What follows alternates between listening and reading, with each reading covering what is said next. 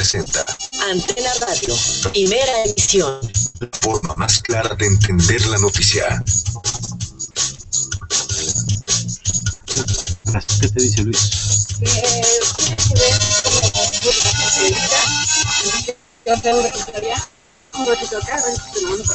Órale. Ok. Ok.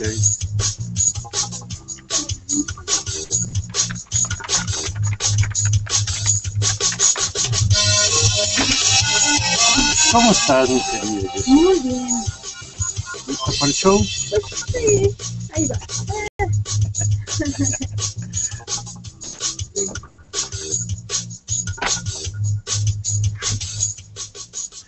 Buenos días, muy buenos días. Qué bueno que nos acompañen esta mañana de lunes, lunes 25 de marzo de 2013. Yo soy Mario Campos y le doy la bienvenida a la primera emisión de Antena Radio y le invito a que se quede con nosotros desde este momento ya hasta las 10 de la mañana porque le vamos a presentar la información más importante que se ha generado dentro y fuera de nuestro país a lo largo de las últimas horas. Ya sabe que yo le saludo con el gusto de cada mañana, con el que saludo a mi querida Jessie. Querida, ¿cómo estás? Buenos Bien, días. gracias. Hola Mario. Muy buenos días al auditorio de Antena Radio. Con mucho entusiasmo para empezar esta semana.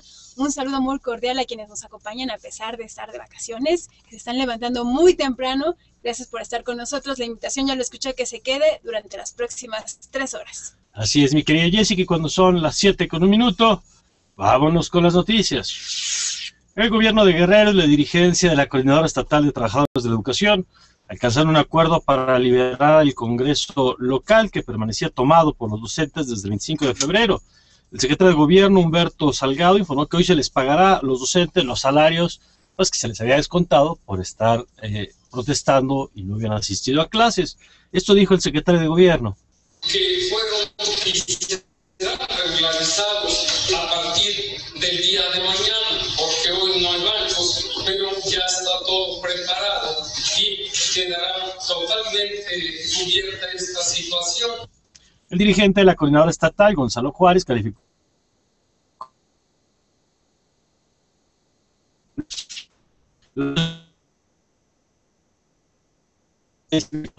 las canciones por los, los y solicitó la Secretaría de Gobernación una de emergencia debido a los incendios que han presentado la entidad en los últimos días.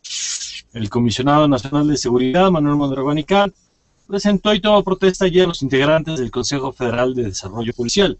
En el acto exhortó a sus integrantes a cumplir con los principios de vigilancia, disciplina y combate a la corrupción.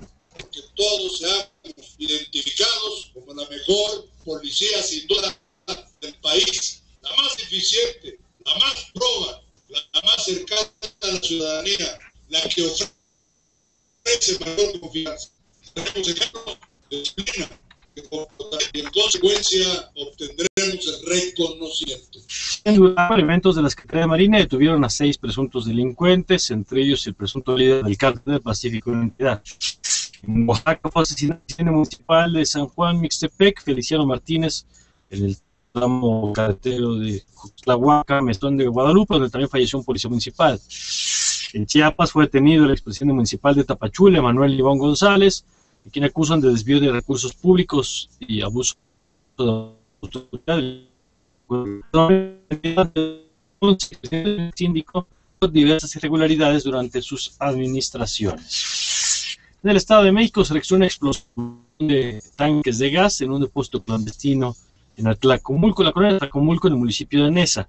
Hay cinco personas heridas y cinco vehículos dañados. El presidente nacional de PRIS, Camacho Quirós, surgió a los senadores a aprobar la reforma en telecomunicaciones en el marco del 19 aniversario luctuoso de Luis Donaldo Colosio, Camacho Quirós confió en el, el profesionalismo de los legisladores sobre intereses partidistas. Queremos que este proceso de análisis y discusión en la Cámara de Diputados pueda también ser considerado en la Cámara de Senadores. Todos los 128 senadores son igualmente importantes. Seguro que tomarán una posición frente a esta minuta. Que yo aspiraría es a que el profesionalismo de los senadores de todos los partidos esté por encima de reyertas partidarias. El secretario general del PRD, Alejandro Sánchez Camacho, anunció que iniciará en los 14 estados donde habrá elecciones una campaña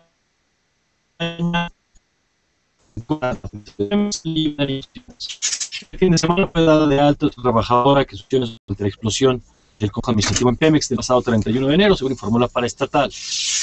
El Servicio Nacional de Sanidad y Cuidado y Calidad Agroalimentaria aseguró que el virus de influenza AH7N3 se mantiene contenido y en el cerco sanitario establecido porque no existe riesgo de contagio en otro estado de la República.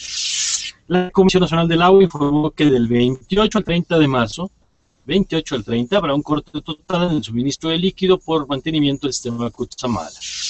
Este lunes inició la operación de parquímetros en la calle, en la zona Roma 1 y Hipódromo 1, estas zonas que establecieron con tarifas de 2 pesos por cada 15 minutos. El jefe de gobierno del DF, Miguel Ángel Mancera, anunció que en este periodo vacacional de Semana Santa no habrá playas artificiales en la Ciudad de México. Antena Radio. La forma más clara de entender la noticia. El Frente Frío número 36 originará lluvias de moderadas a fuertes en Yucatán, en el sureste y en el oriente de México, ligeras en la mesa central. La masa de aire frío que lo impulsa generará un descenso en la temperatura en el norte, noreste, centro y oriente del país, así como evento de norte moderado en el litoral del Golfo de México, la península de Yucatán, el Istmo y el Golfo de Tehuantepec. En el Pacífico seguirán las temperaturas de calurosas a muy calurosas, así que buenas noticias para los vacacionistas. En la Ciudad de México se espera cielo despejado medio nublado, viento de 20 a 35 kilómetros por hora, temperaturas cálidas durante el día, la mínima 9 grados, la máxima 28. La Bolsa Mexicana de Valores ganó el viernes 0.37%. En Nueva York, el Dow Jones avanzó 0.63, el dólar se compró en 12.7, se vendió en 12.57. El euro se compró en 15,84 y se vendió en 16,31 centavos. En la agenda internacional, Chipre alcanzó un acuerdo con el grupo de la Eurozona y el Fondo Monetario Internacional para este rescate de 10 mil millones de euros que permitirá evitar la bancarrota. Eso sí, quienes pierden son los que tienen depósitos de más de, eh, de 100 mil euros. Ya tendremos los detalles. El Papa Francisco encabezó por primera vez la ceremonia religiosa del Domingo de Ramos en la Plaza de San Pedro en el Vaticano ella anunció que viajará a Río de Janeiro para la vigésima octava Jornada Mundial de la Juventud, que se celebrará en Brasil del 28 de julio. En julio arriba, preparad espiritualmente el corazón para la Jornada Mundial de la Juventud. Os encomiendo María ante todo a vosotros, queridos jóvenes, y a vuestro itinerario hacia Río de Janeiro. Buen camino a todos. En la cultura que tenemos, Jessica. Gracias, el poeta y promotor cultural Víctor Sandoval falleció este domingo en la Ciudad de México a los 83 años de edad a, ca a causa de un infarto. Esto informó su hijo, el también escritor Alejandro Sandoval. Gracias, Jessica. Daniel. Muchas gracias. El Miami Heat logró su vigésimo sexto triunfo consecutivo al imponerse 109 a 71 a Charlotte en actividad de la NBA y está a siete triunfos de romper el récord de los Lakers de Los Ángeles de la temporada 1972 de 33 victorias. Antena Radio, primera Aquí es el emisión. partido mañana, La Danny Boy. más clara de entender la noticia. Con Mario Campos. Un espacio informativo del Sistema Nacional de Noticiarios. Instituto Mexicano de la Radio.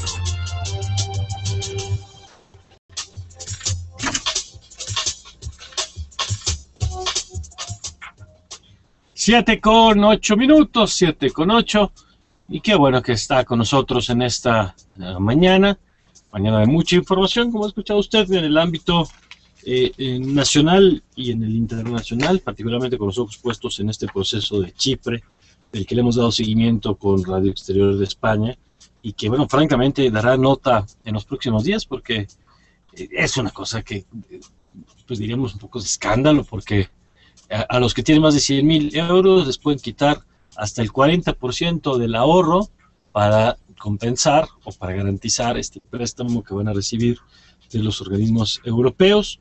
Eh, se aplica un corralito este que establece que hay un límite para sacar dinero de los bancos.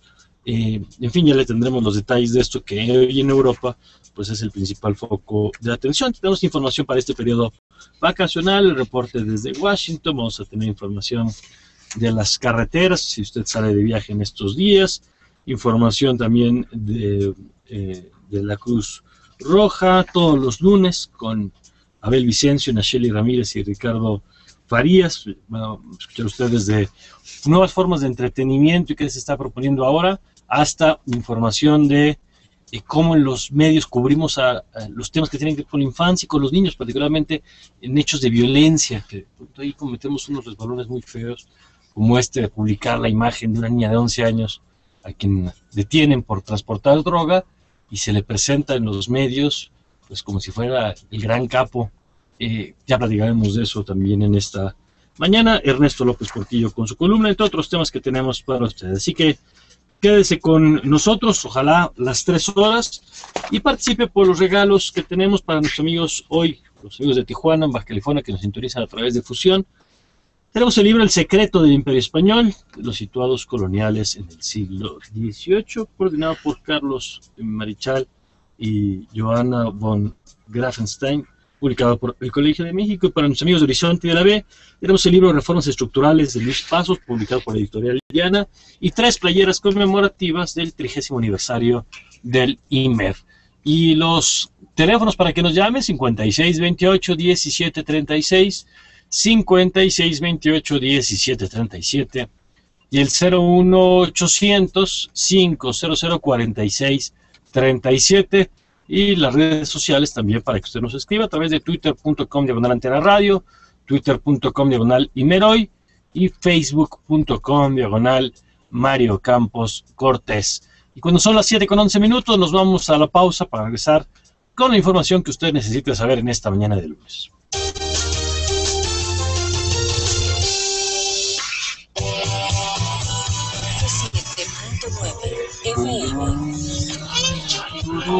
La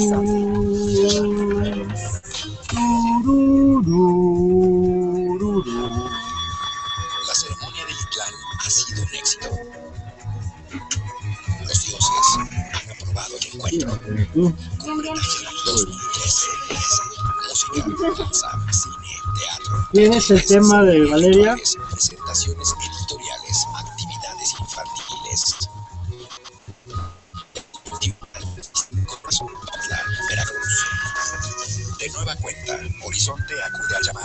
los pormenores de esta fiesta cultural con nuestros enviados especiales. A través del 107.9 de FM. Una revitalizante actitud Horizonte. Ocho dígitos para acercarse al horizonte. 560-108-02. Así suena el Instituto Mexicano de la Radio. Así también suena el Iber.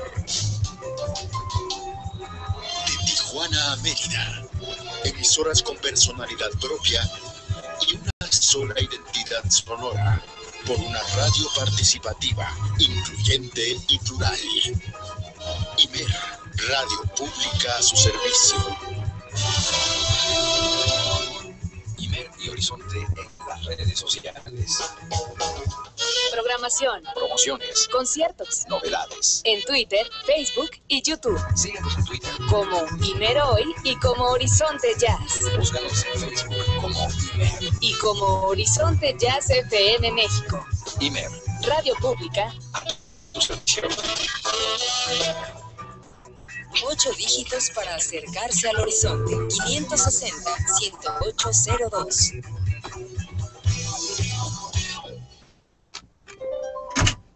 saludo muy caluroso al Muy caluroso, caluroso.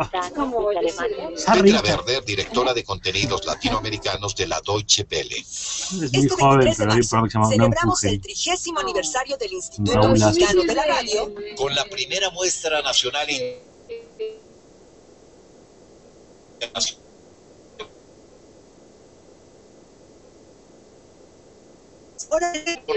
a la medianoche.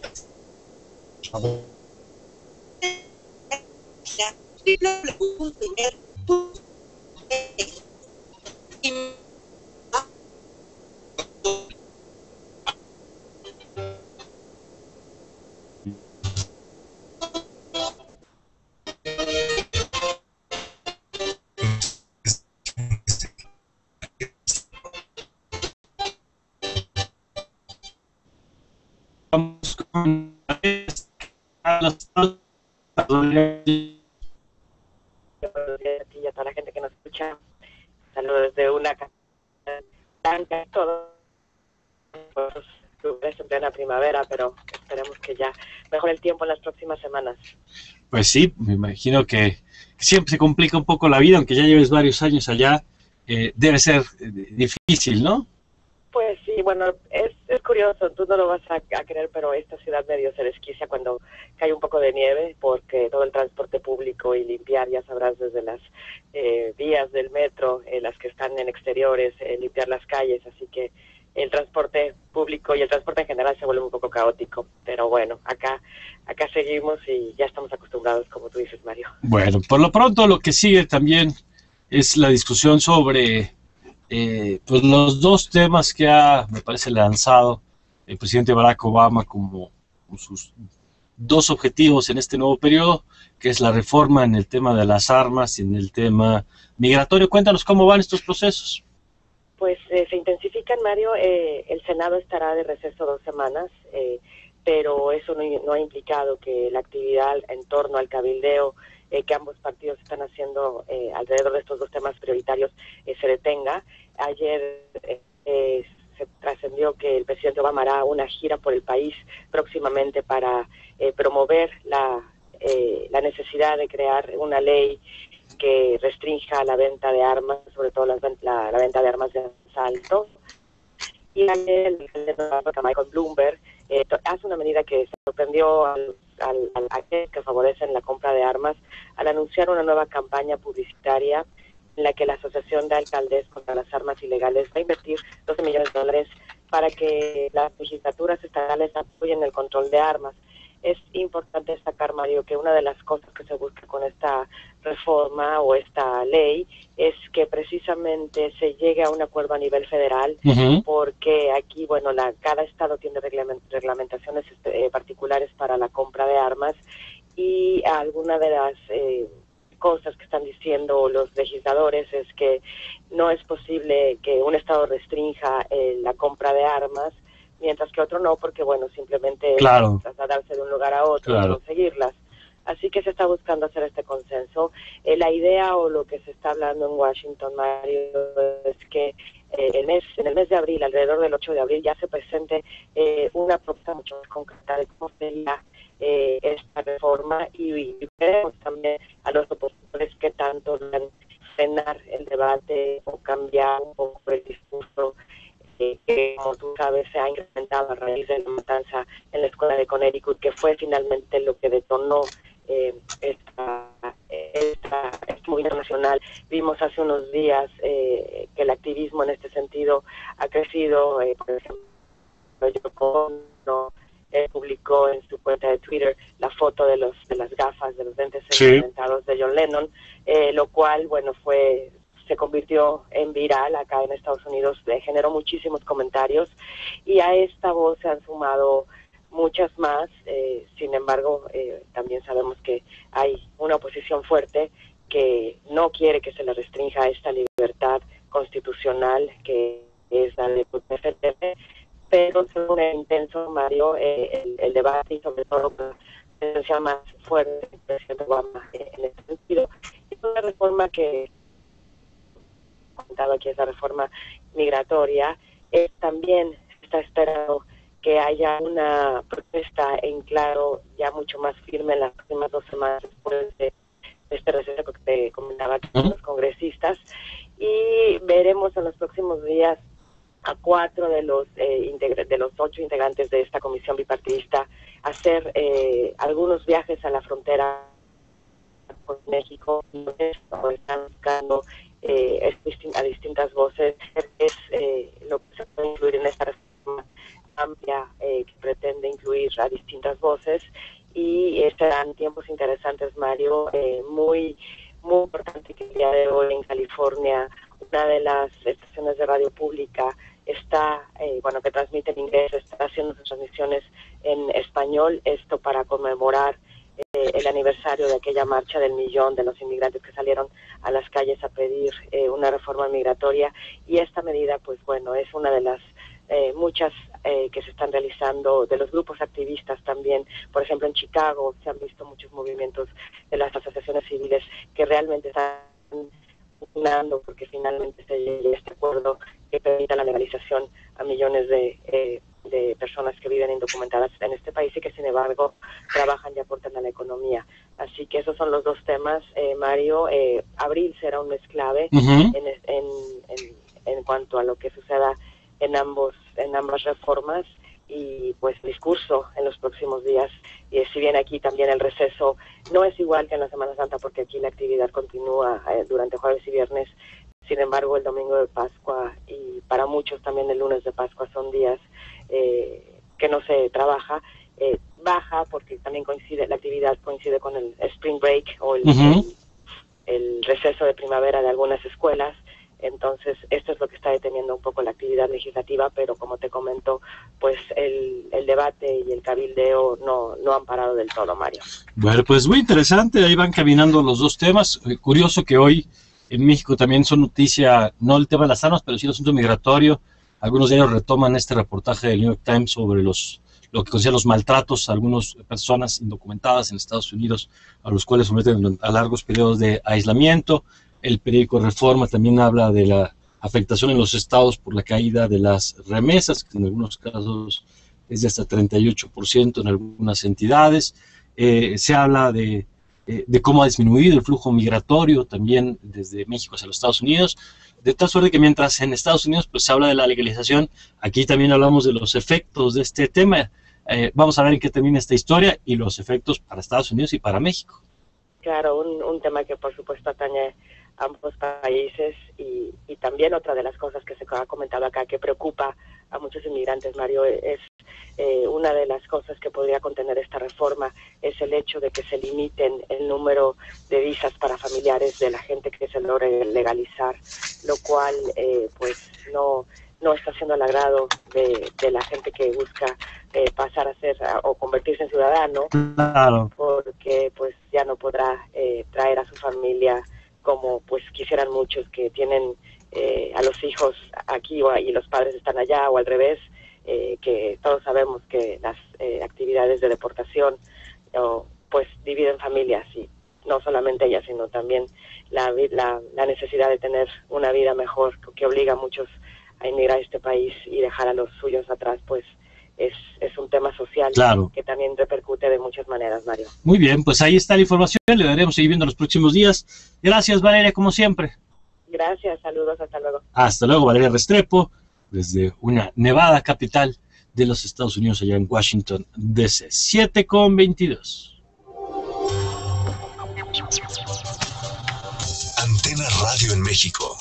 Bueno, y vámonos a Guerrero, con un mejor clima sin duda, pero con un escenario político complicado porque pues el fin de semana se vieron estas protestas de los maestros, los maestros que se han manifestado en contra de la reforma educativa, de la reforma laboral, que suspendieron clases, eh, que se les descontó el día y que las movilizaciones, el bloqueo de la autopista, la ocupación de edificios públicos, pues resultó eh, efectiva en términos de su negociación, porque ayer el gobierno de Guerrero y la dirigencia de la Coordinadora Estatal de Trabajadores de la Educación alcanzaron un acuerdo para que les regresaran las instalaciones que ocupaban desde el 25 de febrero.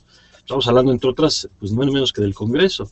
Ambas partes acordaron promover una reforma a la ley de educación del Estado, en el que se garantiza la gratuidad de la educación, que bueno, ya estaba garantizada, el pago de los salarios de los profesores por los días que les habían descontado por no asistir a clases, entre otros temas, como indicó el secretario de gobierno de la entidad, Humberto Salgado Gómez. Esto fue lo que dijo. eh, que fueron y serán regularizados eh, a partir del día de mañana. Esto porque hoy no hay bancos, pero ya está todo preparado y quedará totalmente eh, cubierta esta situación. Señaló que será el Congreso local el que determine la solución definitiva del paro laboral mientras el análisis, mediante el análisis del proyecto de modificaciones a la ley de educación del Estado. al Congreso local una iniciativa de decreto para reformar algunos artículos de, de- de la ley estatal de educación. Consisten fundamentalmente en lo que corresponde a la gratuidad de la educación y el respeto a los derechos laborales. Al respecto, el dirigente de la CETEG, que es la Coordinadora Estatal de Trabajadores de la Educación, Guerrero, Gonzalo Juan Socampo calificó el acuerdo como un logro. Confió en que los diputados aprueben las reformas pactadas entre el gobierno estatal y el magisterio. Dijo que no aprobarse esta reforma, la ley de educación seguirán los plantones. ¿Y qué contempla eh, o qué contempla el acuerdo? Mire, la creación del Instituto de Evaluación Estatal Autónomo de Guerrero, que estará constituido por un consejo honorífico con facultad para colaborar en materia de evaluación con autoridades educativas federales. La Administración Estatal también se comprometió a respetar la gratuidad de la educación y destinar el 6% del Producto Interno Bruto al sector educativo. Los entes se comprometieron a ampliar su horario de labores a partir del 9 de abril para completar el plan de estudios de este ciclo. En tanto, eh, y bueno, para entender también qué hizo que el gobierno terminara cediendo a la demanda de los maestros, el gobernador, el gobierno había dicho que no les iban a pagar por los días no trabajados, que terminaron pagándoles o les van a pagar, y quizás la respuesta esté aquí. La Asociación de Hoteles y Empresas Turísticas de Acapulco informó que al menos 47 hoteles vieron afectados en este inicio de la Semana Santa por las cancelaciones de turistas que se quedaron varados en la autopista del Sol por los bloqueos de los maestros. El pasado viernes los docentes mantuvieron cerrada por más de ocho horas esa vialidad en demanda de que el gobierno les liquidara a los, a los seis mil maestros lo que llamaron sueldos retenidos, que eran los sueldos que no les iban a pagar. Eso en Guerrero, en Oaxaca, integrantes de la sección número 22 del Sindicato Nacional de Trabajadores de la Educación informaron que mantendrá las movilizaciones durante el periodo vacacional de Semana Santa en contra de la reforma educativa y de la reforma laboral. Este fin de semana los docentes realizaron una marcha en la capital del estado y adelantaron que los próximos días tomarán casetas y realizarán mítines en el estado. Mientras tanto, en Monterrey, Nuevo León, unos 1.500 profesores del Sindicato Nacional de Trabajadores de la Educación solicitaron un amparo contra la reforma educativa.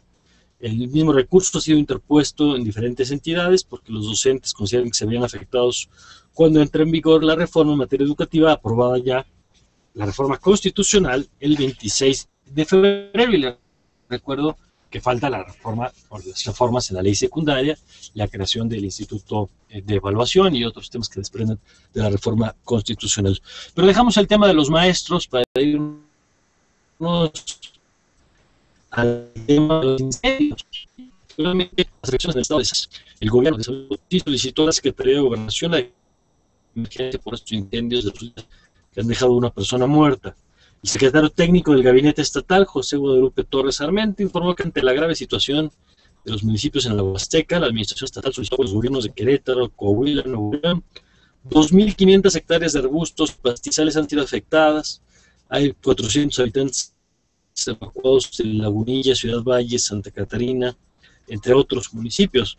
Por su parte, el jefe de gobierno del DF, Mancera, anunció que el Zócalo será instalado, en el Zócalo será instalado un centro de acopio para apoyar a los habitantes afectados por los incendios de San Luis Potosí, como nos cuenta Diana Cruz. El jefe de gobierno del Distrito Federal, Miguel Ángel Mancera, anunció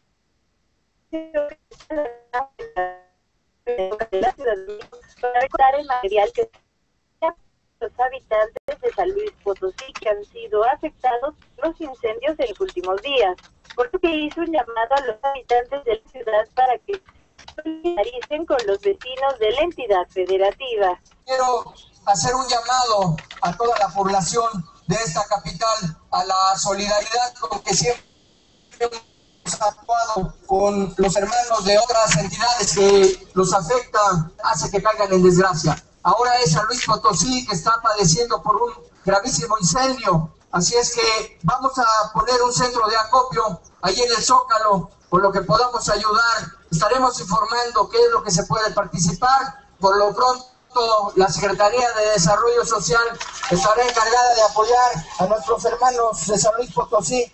Esto lo dijo durante la de la campaña de donde informó sobre el despliegue de 130 en distintas plazas y espacios públicos de la Ciudad de México para fomentar la revisión y prevención de enfermedades. Es muy importante que ustedes cuáles son los pasos para que puedan también hacer una autodetección. Hoy tenemos aquí todos estos consultorios, 80 consultorios que van a estar trabajando con toda la gente que ya nos está acompañando el día de hoy, otros 50 que tenemos en el Ángel de la Independencia y en cada uno de esos dermatólogos que están regalando su día, que están dándole a la población la consulta gratuita para detectar cualquier posibilidad de afectación de cáncer de piel. Por último, el titular de la Secretaría de Salud Capitalino, Armando Agüed, informó que se ofrecerán servicios gratuitos de consulta y detección oportuna de este tipo de cáncer, particularmente en menores de edad.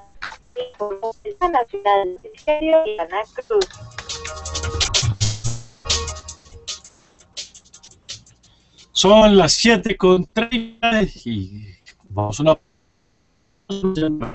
a José Alberto Sánchez, a Velázquez, a Amanda Garza, a Maitonce García. Muchas gracias por estar con nosotros. A Lore, gracias a Lore por escribirnos, nos dice que está atenta a las noticias.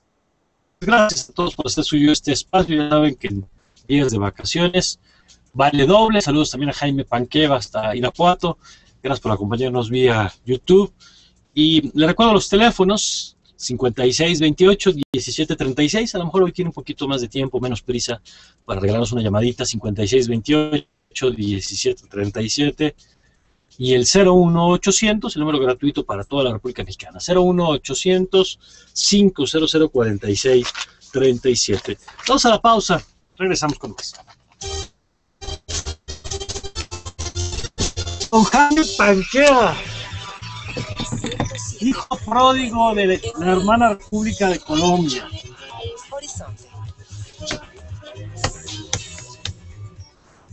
Mexicano ¿Dónde está el tuyo? ¿Dónde está? por convicción. Sandra Lorenzano nos invita a emprender una aventura en busca del cuento perdido. Un programa para soñar, imaginar a través de la palabra y la creación literaria. Escúchalo por Horizonte todos los lunes a las 15 horas. En busca del cuento perdido. Escuchar para pensar, pensar para escribir. Instituto Mexicano de la Radio. Una búsqueda con frecuencia. MX está de regreso. En esta edición presenta el jesuita incómodo, austero, conservador, acusado de solapar a la dictadura argentina. Jorge Bergoglio, el nuevo papa, no es el típico sacerdote formado en la compañía de Jesús. Además, la mano negra de Romero de Champs, según los expedientes de la Federal de Seguridad. Héctor Falcón, el artista que se borró el ombligo. Y el último llanto de las tortugas Laúd. Todo esto más lo que ya sabes. Sexo, cine, humor y música. Entra a www.mx.com.mx. MX, patrocinador del Instituto Mexicano de la Radio. Acciones trascendentes para el desarrollo sustentable de México. Premio al Mérito Ecológico 2010. mujeres y hombres, instituciones y organizaciones públicas y privadas que realizan esfuerzos importantes en materia ambiental. Las propuestas deberán enviarse antes del 5 de abril. Consulta las bases en www.semanal.gov.mx. Premio al Mérito Ecológico 2013. 20 años reconociendo acciones trascendentes para el desarrollo sustentable de México. Semanal. Gobierno de la República. Ocho dígitos para acercarse al horizonte. 560-10802. Somos Horizonte 107.9, frecuencia modulada y en radio digital, canal HD1. Es este de la corporación, no corporación.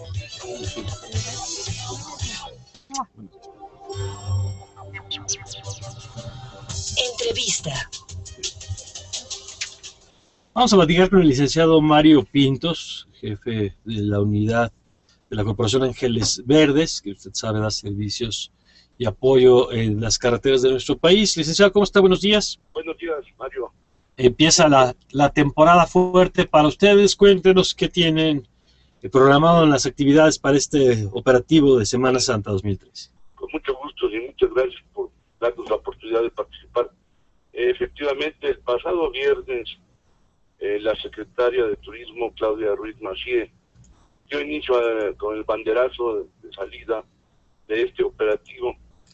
Eh, eh, pues por, por- por lo que toca a Ángeles Verdes, eh, nuestra corporación está trabajando al máximo de su capacidad. Tenemos instalados eh, 24, eh, durante las 24 horas 83 eh, campamentos. ¿Qué quiere decir campamentos? Que tenemos, eh, durante las 24 horas tenemos personal, tenemos eh, equipo vehicular, no solamente es grúas, además de por primera vez tenemos a disposición del turista carretero eh, 55 campers eh, equipados eh, eh, de, de primer mundo. Tienen sus literas, tienen su baño, tienen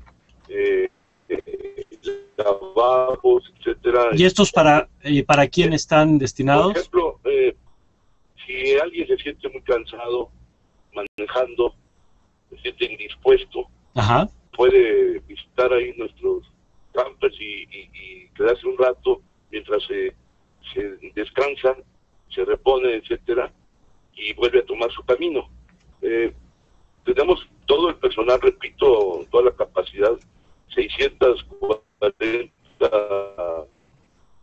eh, trabajadores verdes, son 307 patrullas, radiopatrullas, 45 grúas, grúas de plataforma y de, y de arrastre, Ajá. además de estas 55 remolques de tipo vivienda. Eh, tenemos además eh, nuestro call center, nuestro eh, centro de información turística, en que ahí recibimos desde luego todas las llamadas de auxilio para asistencia turística a- al turista, pero además podemos dar información de desde el clima, desde el estado carretero, eh, reservaciones de hotel, etcétera. Entonces creo que por primera vez, Así que ya son, son más servicios los que se dan. Sí, sí, pero además este, con un frente común de todo el gobierno federal, en una estrechísima coordinación con eh, con Policía Federal, desde luego con la Cruz Roja, etcétera. Todas las dependencias que están involucradas y además participamos desde luego en el programa paisano que maneja el Instituto Nacional de Migración y ahí estamos participando también en varios aeropuertos, la Ciudad de México desde luego y en varios eh, como Cancún, como Mérida, etcétera. Es como parte de los servicios, bueno, nos puede dar el teléfono, eh, que seguramente muchos amigos ya lo conocen. Sí, como no. Se- eh, primero, el, el gobierno federal tiene un número Ajá. que el 088, que de ahí nos derivan a nosotros, pues el 088 y el 078, 78, Ajá. que es Ángeles Verdes. Cualquiera de esos dos funciona para contactarlos a ustedes. Ah, exactamente. Ahí estaremos a las órdenes dando asistencia mecánica en carretera, traslado de, ve- de vehículos, con lo coordinamos con ustedes. Ya le presento, licenciado, así como ya eh, eh, compartimos los, lo que puede hacer Ángeles eh, Verdes por nuestros amigos, recordarle a los que van a salir en estos días lo que sí está en sus manos, las medidas preventivas que pueden tomar para que justamente pues lo ideal es que no tengan que requerir los servicios de Ángeles Verdes, que si lo necesitan, ya sea como estas instalaciones para descansar, pues lo aprovechen, pero que en principio pues todo el mundo pueda llegar bien a su destino. Cuéntenos qué le recomienda.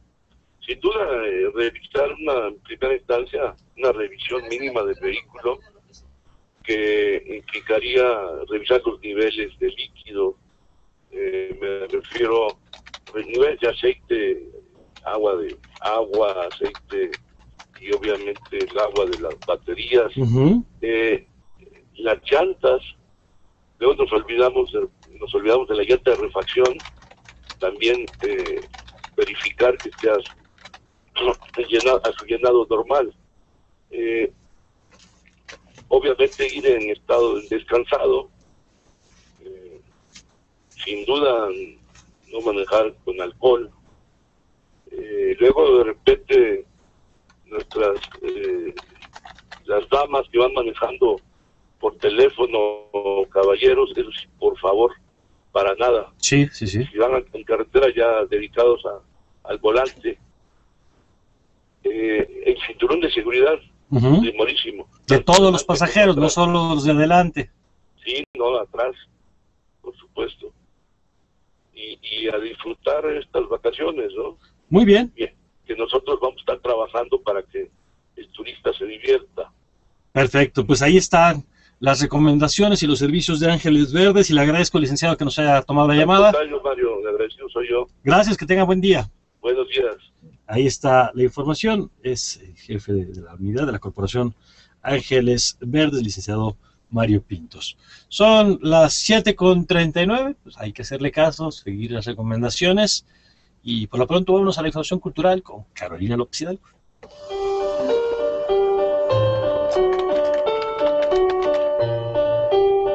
Días, Mario Auditorio. Falleció el poeta y promotor cultural Víctor Sandoval a los 63 años de edad. Es amigo en la Ciudad de México a causa de un paro cardiorrespiratorio. Era considerado como uno de los autores más significativos de la literatura mexicana desde la última del siglo XX. Sandoval, quien nació en Aguascalientes el 31 de octubre de 1929, era considerado por pares uno de los autores más importantes de este siglo gracias a su capacidad metafórica y sus notables rítmicas. La obra de Víctor tiene de un lado como fundamento la exaltación en su poesía a la mujer como deseo y más como expresión de la sexualidad, el paisaje, la ciudad habitante, el vino por compartir y con qué de partir señaló el poeta Marco Antonio Campos. Hugo Gutiérrez Vega dijo que la poesía de Sandoval se siente de una manera sutil la presencia de López Velarde, de José Vallejo, de Urbina, de Neruda, de García Lorca y de Miguel Hernández. La obra de quien fuera director del Instituto Nacional de Bellas Artes, donde creó el Premio Bellas Artes de Literatura que actualmente se en las ramas de poesía, novela, cuento, teatro, ensayo cuentos para niños, está publicada en libros como Aire Libre, Viento Norte, Hombre de Soledad, Poemas del Veterano de Guerra, eh, Para empezar el día, Fragua, Agua de Temporal y Trovas de Amor y de Escenes. Ha sido traducida a diversos idiomas, entre ellos el inglés, el italiano, el griego, el alemán, el ruso y el francés. En años recientes formó parte del Seminario de Cultura Mexicana instituto promueve la actividad científica, filosófica y artística de nuestro país. Y en 2008 el Tribunal de Cultura Económica reunió en un libro su creación poética. Pasando otra información, hace 14 años, con el apoyo de los viejos, la comunidad de Totonacapan, la sociedad civil y diversas instituciones con el fin de rescatar la cultura totonaca, surgió el Parque Axilchoput, un espacio profundo de la tradición, el amor y la naturaleza, así como el convivio con los dioses, como lo señaló en entrevista Humberto García, su director del Centro de las Artes. con los alumnos, sí, lo vamos compartiendo. Es un proceso largo, ¿eh? Definitivamente, si hablamos de una formación holística, sí implica todos los aspectos, ¿no? desde habilidades, destrezas, actitudes, sobre todo si hablamos de arte grandísimo, ¿no? Todo existe, los elementos, los, los, los maestros, las abuelas que tienen el conocimiento, pues nos van acompañando. Pues sí, nos documentamos de lo que pasa en los medios, eh, en los libros, en, en lo que hay escrito, pero nos vamos más hacia los sabores. Una actividad que reúne los cuatro elementos como el fuego que se da en la gastronomía. El diálogo, diálogo con el fuego. No cualquiera, porque acá no utilizamos las estufas, ¿no? es, es con leña, se cocen los alimentos. Entonces, que una mujer, un chico pueda prender un fuego requiere Gracias. de una actitud, de una preparación para que el fuego pueda prender. Pero ahí va inmerso el agua, la tierra, el aire, ¿no?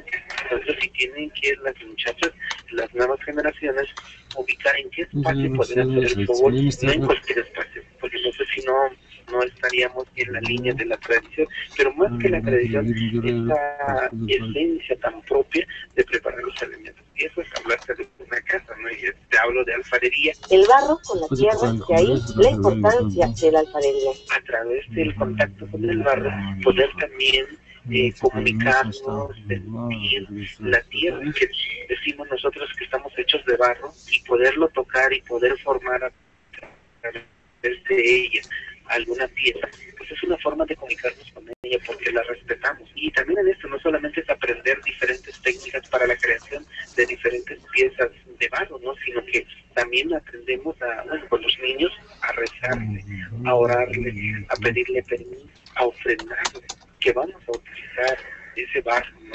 El rescate de la lengua totonaca se da también gracias a la comunión que existe entre las diversas generaciones que integran esta cultura. Así lo dijo Humberto García. con la materia viva, ¿no? Porque está vivo, ¿no? Hay algo tan interesante que hemos descubierto que en la medida que dialogas con la materia, con los tiempos naturales, te van dando un tono y te va llevando y te va llevando. Son creaciones impresionantes, vaya. Es muy nutritivo en el alma todo lo que van encontrando los niños. Y tan grande es, al rato los niños fuera del centro de farse en su casa, con su familia, y no sé si están experimentando con tal planta como qué color sale, ¿no? Esta semilla como qué color me dará, esta tierra como qué color me dará y qué, qué resultará. El Centro de las Artes Indígenas continúa buscando el diálogo entre las generaciones, pero también entre el desarrollo artístico y cultural. es muy buena, pero no plasmamos como no, sino que en los diálogos de- con los abuelos surgen los temas para plasmar. ¿sí? Y hay algo muy interesante al trabajar con los tintes naturales. Fíjense que dependiendo del estado de ánimo del pintor o de, los alumnos, se verá en el, reflejo en, la manta, en la base, desarrollando la, la pintura. Realmente simplemente podrá ser el color azul, pero los tonos irán a variar. Mario Victoria.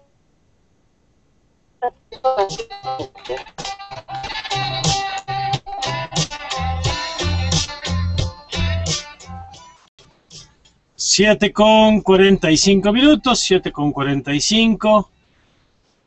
Gracias por seguir con nosotros. Saludos a, a Kaira Velázquez. Y nosotros vamos a una pausa. Les recuerdo que tengo tres playeras conmemorativas del 30 aniversario del IMER para nuestros amigos de Horizonte y de la XEB. Y tenemos libros para nuestros amigos de Tijuana y de la Ciudad de México. Gracias por sus llamadas. Gracias a René A. Toledo, que nos felicita por el 30 aniversario del IMER. Gracias a Salvador Chávez. Gracias a Mario Núñez, que nos felicita también por los 30 años de IMER. Manda saludos a todo el personal de noticias y a todos los titulares de los informativos de Antena Radio. Pues muchas gracias, Tocayo. Un. Gracias a Jorge. También. Gracias, Jorge. Como siempre, generosa su respuesta. Gracias a Javier Montero, que manda saludos a todo el equipo. Gracias al doctor Ricardo Campos, a quien le mando un fuerte abrazo y le agradezco mucho el libro que me, que me obsequió a propósito de los jesuitas. Eh, gracias, eh, doctor, eh, profesor de la UNAM, y a quien le agradezco, como siempre, sus comentarios y todos sus, sus detalles. Vamos a una pausa y regresamos con más aquí en Antena.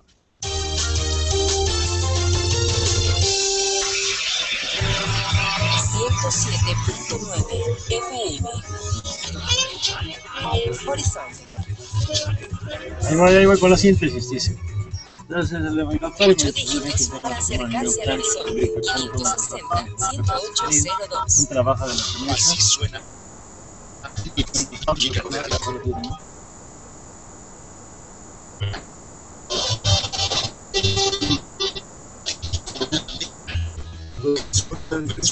propia y una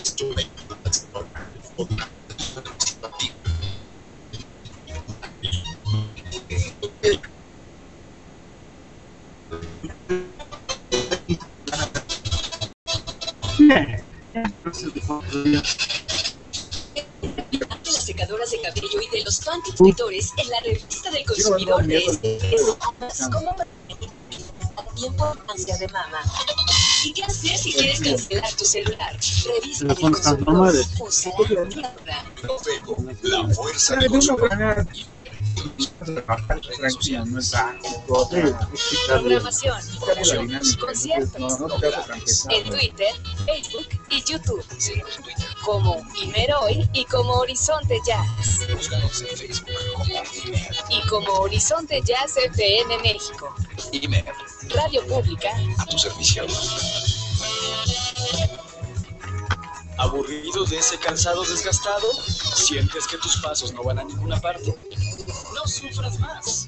Zapatería Soul Sessions es la solución. pensé que me iba a quedar atorada ahí en la del No te tocó.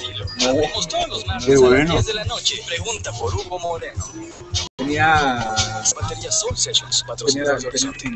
Ocho dígitos para acercarse al horizonte. 560-10802.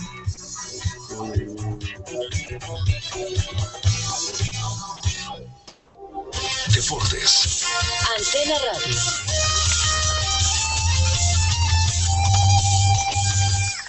Adelante, Daniel, con la información. Muchas gracias, Mario. Muy buen día nuevamente a toda la audiencia. Vámonos con información del automovilismo. Los mexicanos Sergio Pérez y Esteban Gutiérrez siguen sin tener los resultados que esperaban en el Mundial de Fórmula 1 al finalizar noveno y décimo segundo lugar respectivamente en el Gran Premio de Malasia. La carrera en este circuito en Sepang se la llevó el alemán Sebastián Vettel, nuevo líder del serial. El australiano Mark Webber se quedó con el segundo puesto en el podio y el británico Lewis Hamilton con el tercero. Gutiérrez terminó con buenas sensaciones su segundo gran premio en la máxima categoría del automovilismo. Una segunda carrera buena, al final de cuentas tenemos que estar contentos por haberlo terminado.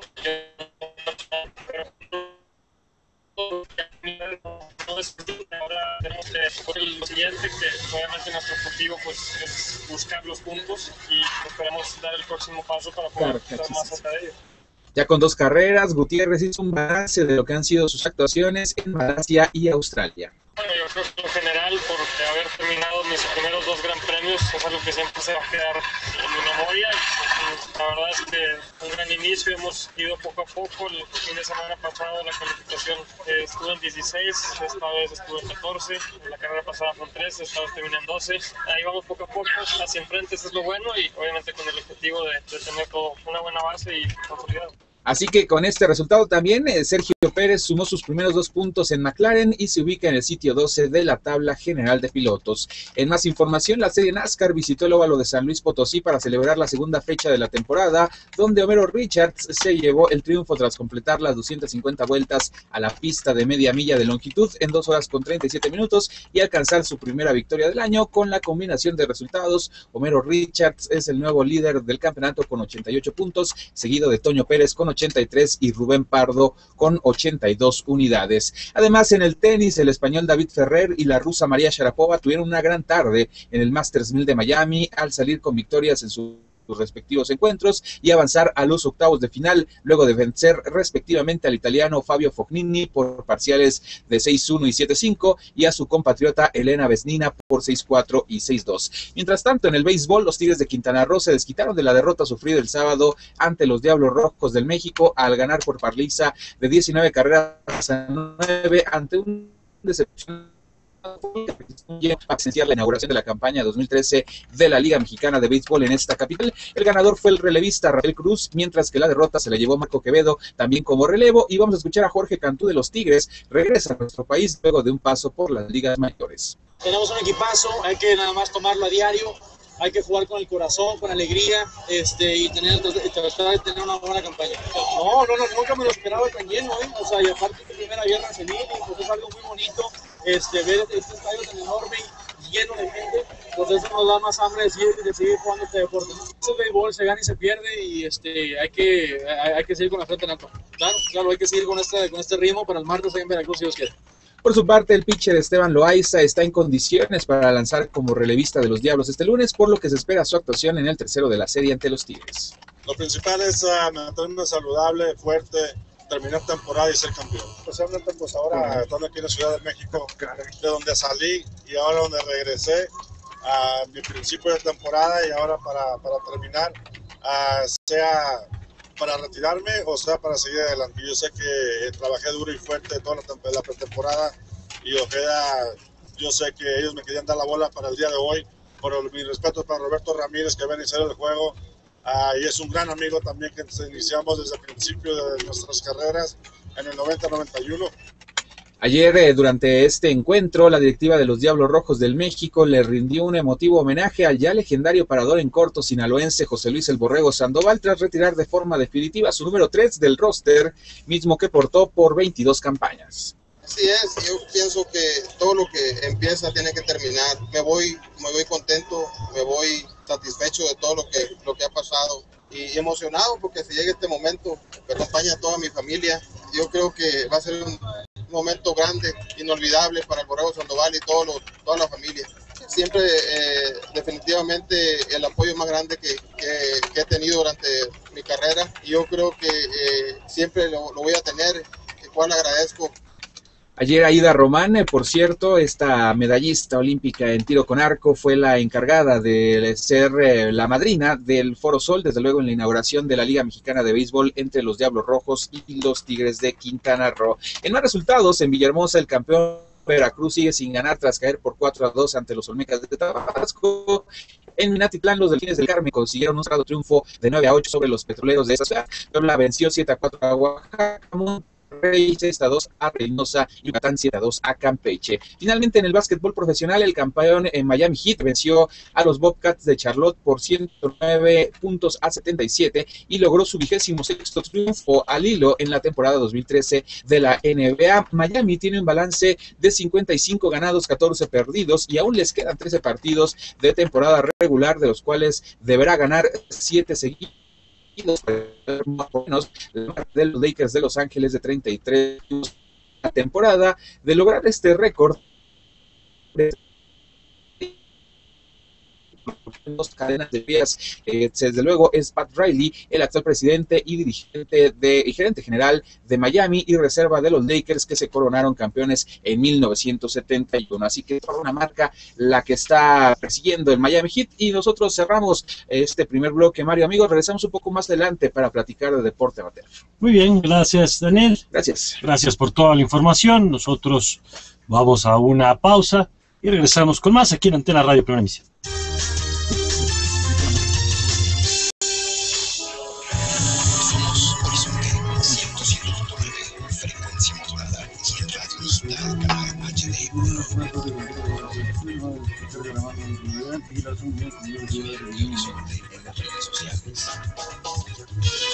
Promociones, conciertos, en Twitter, Facebook y YouTube.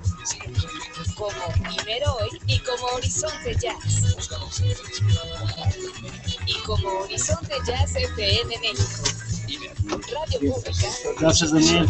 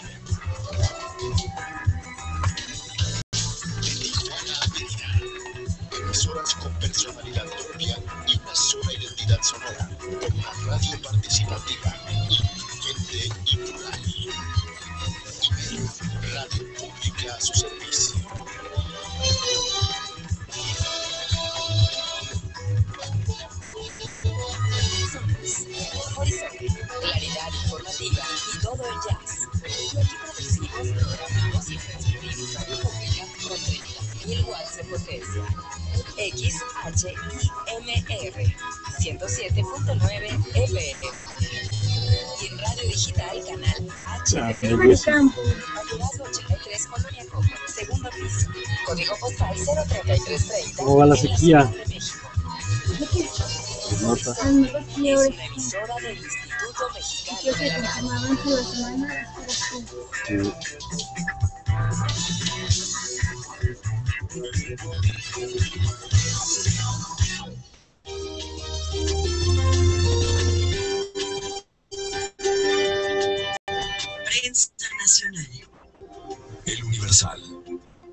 Unidos aplica aislamiento total a migrantes, revela The New York Times. Indica que unos 300, en promedio, son confinados diariamente a aislamiento total, hasta por 70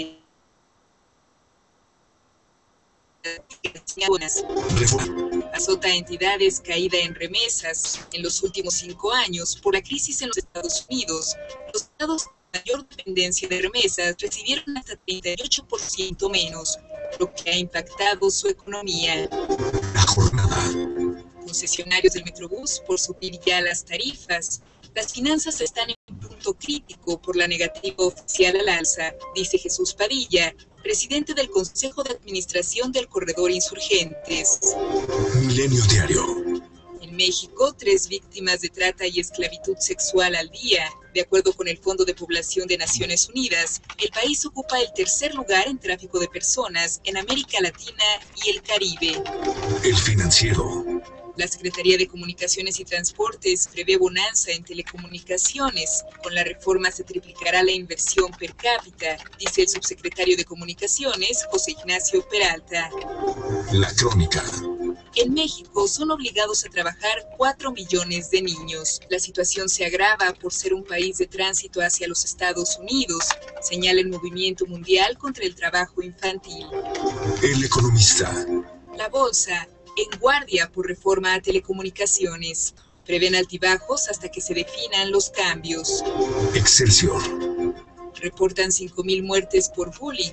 El Senado debate ley contra el acoso escolar. Advierte que hay una cifra negra de decesos porque familiares niegan los casos. millones de. Enrique Orcasitas, encargado del proyecto Metro, beneficio instructora de la que Luis Orcasitas es directivo. Proceso. Por una iglesia de puertas abiertas, con palabras sencillas, el Papa Francisco exhortó a los Sí, ¿es el religiosos a abrir las puertas de su corazón y de sus iglesias para Proceso. atender a los pobres y necesitados. X. Intercambian en Quintana Roo basura reutilizable por canasta básica, frutas y verduras. El gobierno de la entidad indicó que 4.270 Se acabaron los familias se beneficiaron Llegaron con el los programa reciclando basura por alimentos. Sí, algo por más más crítico. Sí, el Papa dictador. No, ya, por eso me gustaba. Nada más de sala bonita y así. El imparcial de Hermosillo. Detalla el Estado tema presupuestal. El gobierno de Sonora dio respuesta a las propuestas presentadas por la Asociación Civil No Más Impuestos. Noticias Oaxaca. Gran avance de Oaxaca en salud materna, afirma el Servicio de Salud Estatal. Pasa al octavo lugar nacional en razón de mortalidad, con una media de 32.3 defunciones por cada 100.000 nacimientos. Cuarto poder de Chiapas. En Chiapas, 5.6% de niños reprueba la primaria. Por cada 100 alumnos que ingresan a este nivel, el 64% llega al sexto grado. El diario de Juárez. Fabrica Juárez productos de vanguardia tecnológica. Firmas como Dell, Sony, HP y Vicio guardan como un secreto sus innovaciones industriales. El diario de Yucatán. Nuevo servicio policial. Dan información de detenidos en pantallas de televisión. Familiares utilizan nuevo sistema de información electrónica para localizar y verificar si sus parientes cometieron algún delito. Los comentarios expresados libremente en secciones y columnas son responsabilidad de sus autores. Antena Radio, primera emisión. La forma más clara de entender la noticia.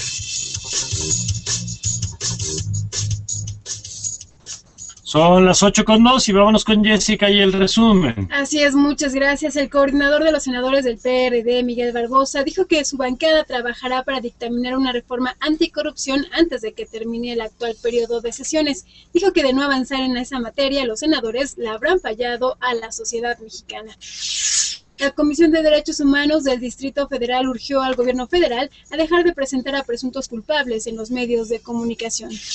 Fueron robados dos cajeros automáticos de un banco en satélite Estado de México esta madrugada. Los cajeros fueron arrancados de la pared de la sucursal. Hoy en cartera del Universal. Inversión extranjera da fortaleza al peso. La fortaleza del tipo de cambio peso-dólar es resultado básicamente del ingreso de flujos externos de cartera al país derivados de los atractivos rendimientos ofrecidos por el mercado de dinero mexicano. Salario e inflación, lastre de economía. En México, los salarios reales crecen de forma casi marginal cada año. Según diversos analistas, la causa es la política de contención de salarios e inflación que hay en el país, así como el vínculo que tiene el salario mínimo con el pago de contribuciones y derechos. Mario, nuestro primer resumen. Muchas gracias, Jessica 8 con 3. Columna Antena Radio.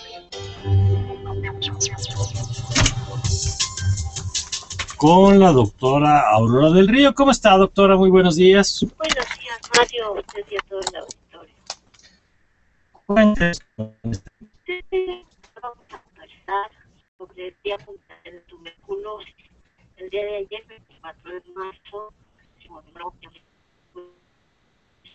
y es un día la conciencia sobre la carga mundial de esta enfermedad y cómo avanzamos en los esfuerzos para prevenirla y controlarla. Se hace esta conmemoración este día porque en un día como ayer, en 1881, el alemán Hueco anunció el descubrimiento del agente causal de esta enfermedad. Este es un hito en la ciencia médica que además llevó a la comprensión de muchas de las enfermedades infecciosas que fueron muy relevantes en el siglo XIX y la primera mitad del XX y que permitió entender cómo vivíamos los seres humanos en un entorno ecológico mucho más complejo de lo que se sabía hasta ese entonces. Entonces es también importante desde el punto de vista científico. La Organización Mundial de la Salud de la tuberculosis, terminemos con la tuberculosis en nuestra generación, porque es posible, actualmente tenemos tratamientos medicamentosos, antibióticos específicos en contra del micobacterium tuberculosis, tenemos pruebas diagnósticas eficaces que pueden ser uh, detectados los casos de manera temprana. Sin embargo, desafortunadamente, pues tenemos algunas otras desventajas. La enfermedad se asocia con la infección por VIH y recientemente está cada vez más claro que también se asocia con la diabetes mellitus. En México hemos avanzado en el control de la tuberculosis, sin embargo, todavía es una enfermedad que es importante y por eso decidí hablar el día de hoy de ella, porque pareciera que ya es algo que en México no existe. La tuberculosis todavía era famosa cuando en los años 50, 60 yo iba a la escuela y la vacuna y se hacían grandes campañas de detección de tuberculosis. Hoy pareciera estar fuera de la, de la visión pública y sigue siendo un problema de salud pública importante. En México, en 2011 hubo 19.500 casos nuevos de tuberculosis. La mayor parte son casos pulmonares, más del 80%, aunque hay otras formas. Eh, hubo de estos casos pulmonares 15.800 aproximadamente, de los cuales el 21% está asociado a la diabetes. Y ya sabemos que la diabetes es una enfermedad muy común en México. Ujú. Y otro 8% está asociado a el VIH. Entonces es muy importante cuáles son las recomendaciones. Y más de tres semanas, a veces con flemas, a veces las flemas con sangre, sudoración nocturna, fatiga, fiebre moderada en las tardes, peso, a veces dificultad respiratoria y dolor en el pecho. ¿Qué hacer? Hay que acudir al médico, hay que hacer una- un examen físico detallado, exámenes de laboratorio para identificar el micobacterium y sobre todo, muy importante, el reto es evitar las resistencias. Ujú. Una vez que se da el medicamento, adherirse muy bien al tratamiento, tomarlo como el médico lo, lo prescribió para evitar que esta bacteria se vuelva resistente, que es lo que está haciendo ahora más compleja la, el, el combate con la enfermedad. Si generamos micobacterios resistentes, entonces pues las herramientas que tenemos de rutina ya no nos sirven, tenemos que usar antibióticos más caros, más difíciles, con más efectos colaterales. Muy importante entonces acudir pronto al médico eh, y una vez que nos prescriben el tratamiento, es un tratamiento largo, cosa que nos cuesta trabajo, pero es muy importante adherirnos a que si lo llevamos tal como está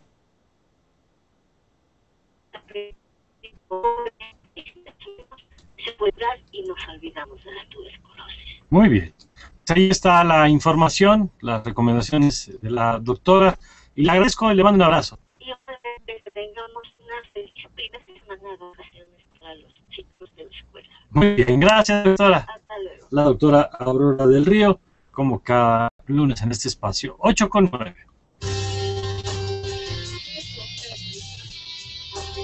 ¿Dónde? ¿Qué hacer?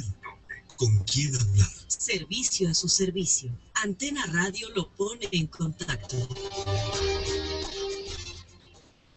Mire, esta semana y hasta el próximo 17 de abril se realiza la colecta de la Cruz Roja Mexicana y bueno, hay diferentes formas en las que usted puede participar. Nuestro servicio es a propósito de este tema.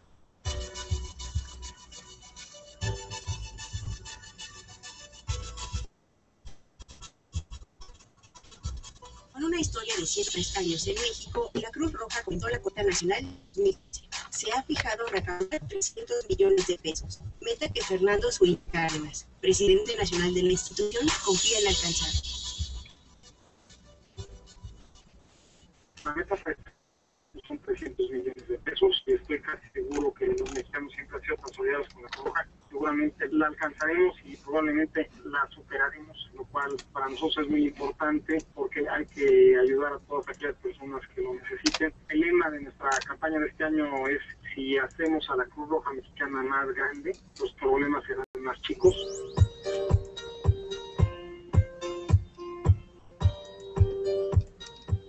Durante 2012 se proporcionaron más de 1.200.000 servicios gratuitos de ambulancia y más de 5.300.000 servicios médicos, además del apoyo brindado en las zonas afectadas por ondas gélidas y sequías.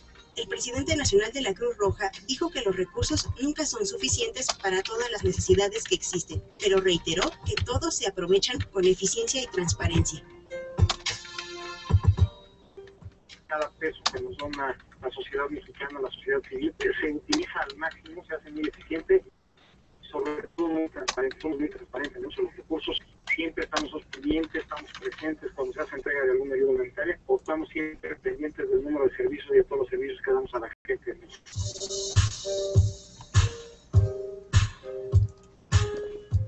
Además del boteo en los días de la colecta, existen otras formas de donar a la Cruz Roja. Su presidente nacional, Fernando Suinaga, recordó que por segundo año consecutivo será posible hacer donativos a través de un cargo al recibo telefónico. En la facilidad y comodidad de su domicilio a través del cargo a su recibo Telmex. Pueden hacer donativos desde 50, 100, 150, 300 y hasta 500 pesos por llamada y hasta un total de 2.000 pesos mensuales, simplemente marcando el asterisco 6565 desde su teléfono. Asterisco 6565. Y con una gran cosa que la Fundación Carlos Slim duplica que se a través de este medio.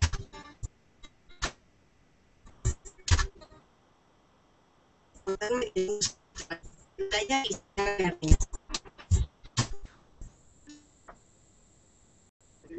cero cuatro cuatro cero seis cuatro ustedes al final se van y quieran o a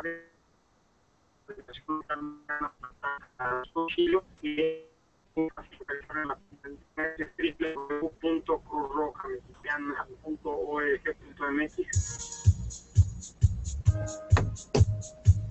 el Sistema Nacional de Noticiarios, Rocío Arellano.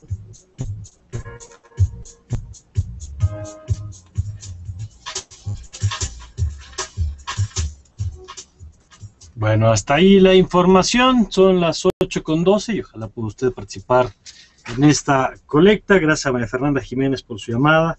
Suerte por esa playera de aniversario del IMER. Y nosotros nos vamos a una pausa para regresar con más aquí en Antena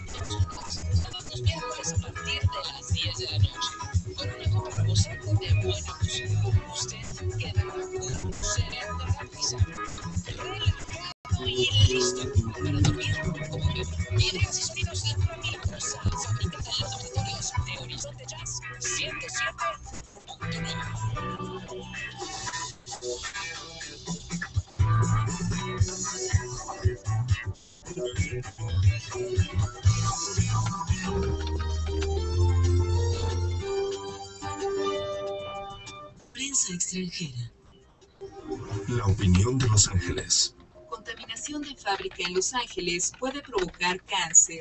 Una fábrica de reciclaje deberá informar sobre ¿Cómo los peligros y riesgos. El diario de Nueva York. La ciudad de Nueva York se calienta con el debate sobre el matrimonio entre personas del mismo sexo. Realizan una manifestación en Manhattan como preámbulo a las audiencias de la Corte Suprema de Justicia. La raza, Chicago.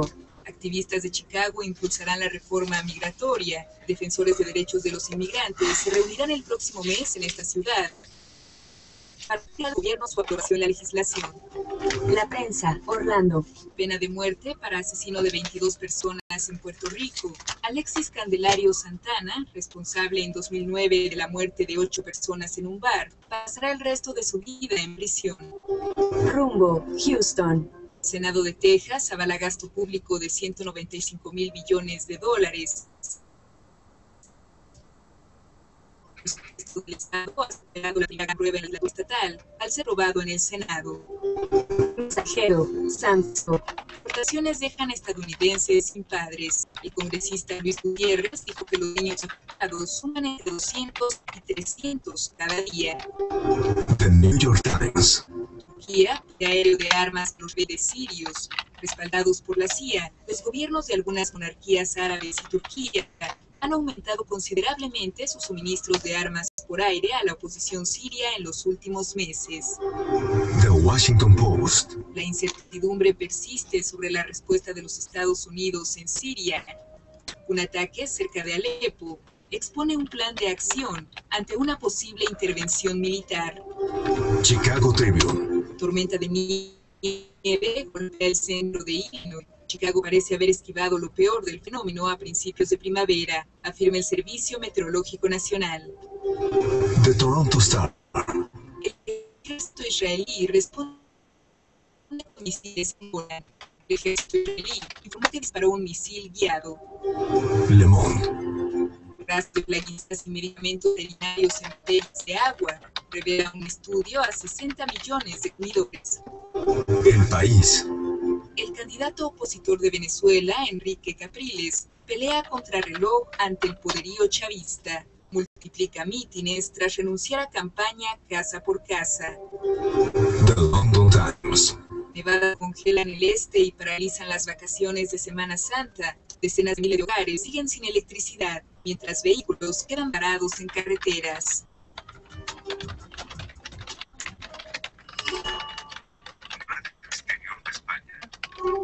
En Antena Radio.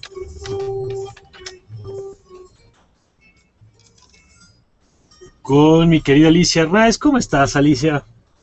Muy bien, Mario, ¿qué tal vosotros? Comenzando la semana. Bien, muy bien, mejor que Obrador de Chipre. Ahí no teníamos nada, Mario. Y sobre todo menos de 100 mil euros en todo caso. Eso, eso. Y en todo caso iba a ser menos.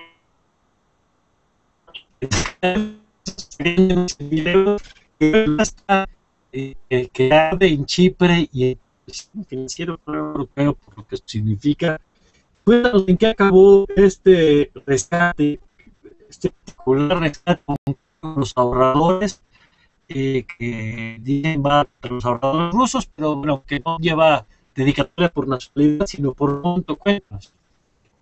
Sí, es por monto, pero lo cierto es empezar por, por un punto eh, y siguiendo lo que decías de Rusia, eh, bueno, lo cierto es que el principal monto lo tienen los rusos, porque equivale a 20 mil millones de euros y por eso les gusta tampoco este rescate europeo a la isla a Chipre, porque si va a castigar a alguien va a ser a los ahorradores de más de 100.000 euros, a los que va a obligar a una quita del 30%, es decir, que la tasa esta vez se va a establecer sobre un 30% a las personas que tengan ahorrado más de 100.000 euros. Y eso, como te digo, pues eh, apunta directamente a los rusos que eran los principales o principales de Rusia. Por eso ahora a ellos les gusta tampoco este rescate que han pactado esta madrugada los ministros de la. Y mm, lo que parece que se acaba en Chipre es el paraíso fiscal, por esa situación de, de, de, de baja o de ninguna de ningún tipo de impuesto. Se va a liquidar el segundo banco del país, al que le va a acompañar una reestructuración plena del sistema bancario. Y bueno, mm, básicamente son estas las principales condiciones a ese rescate de 10.000 euros que va a prestar la Troika y es porque, bueno, según han dicho dirigentes europeos, es un modelo inviable que ha abocado a Chipre, a casi.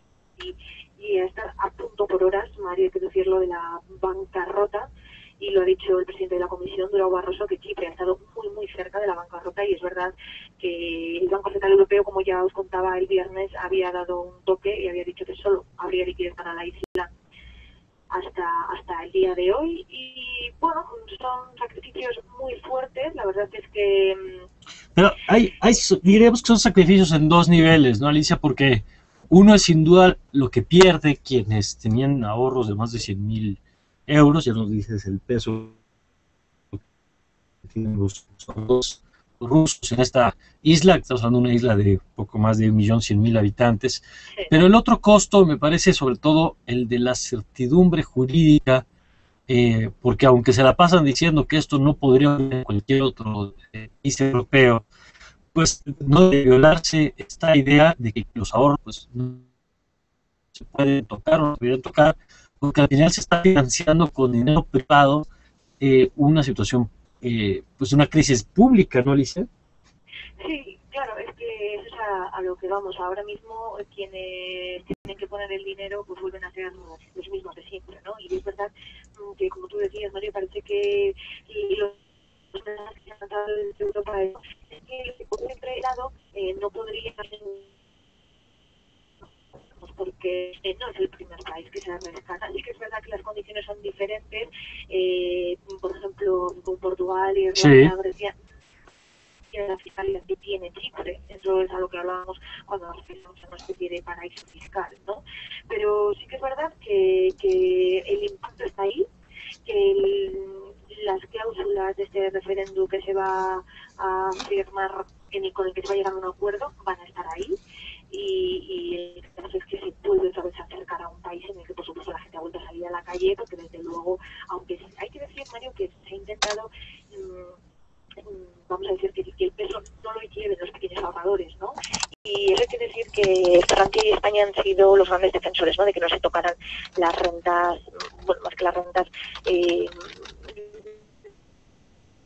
las personas que llamamos mil euros, pero los sacrificios están ahí. O sea, lo que las restricciones a la que la población va a tener como por ejemplo, no se va a poder sacar más de 100 euros de los bancos, como se ha dicho, tampoco se sabe cuándo se va a iniciar la apertura de los bancos que han estado cerrados, hay que ver si va a haber una fuga de capital, porque el miedo entre la población está claro que lo hay, o sea que las consecuencias eh, son y lo que tú dices, eh, esto no deja de ser otra vez dinero privado eh, a través de... Claro, a por, decir, por de más por más impopulares que sean esos ahorradores rusos, no deja de ser dinero privado, pues, ¿no?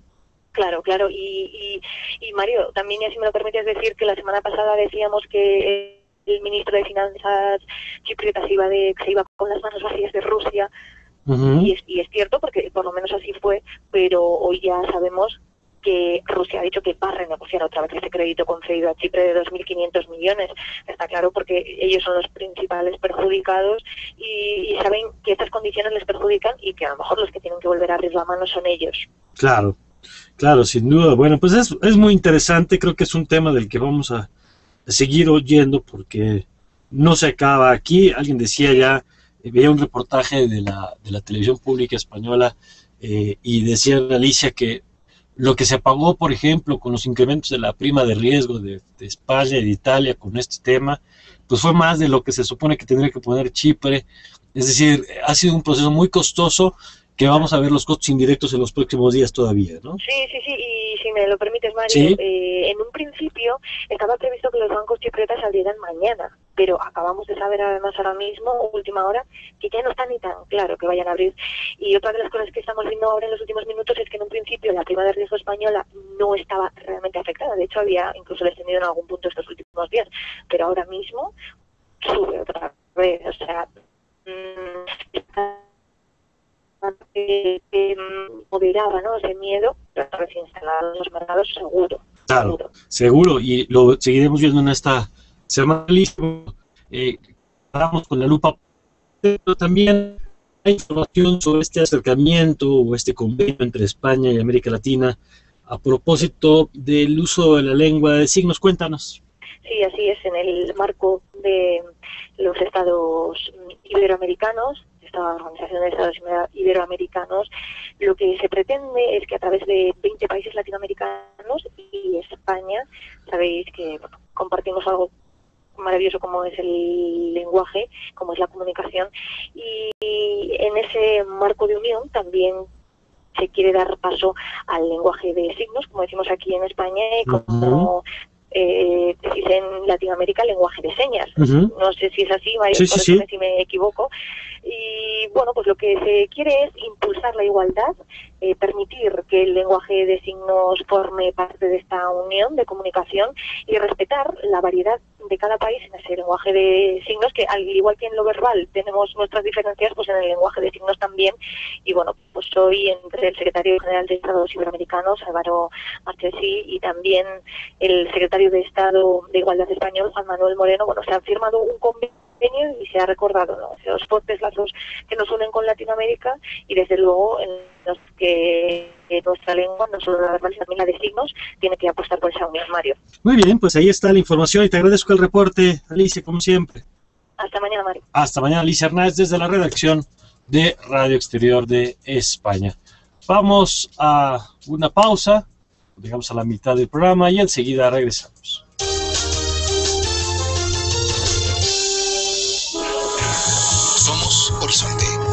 107.9, frecuencia modulada y en radio digital canal HD1.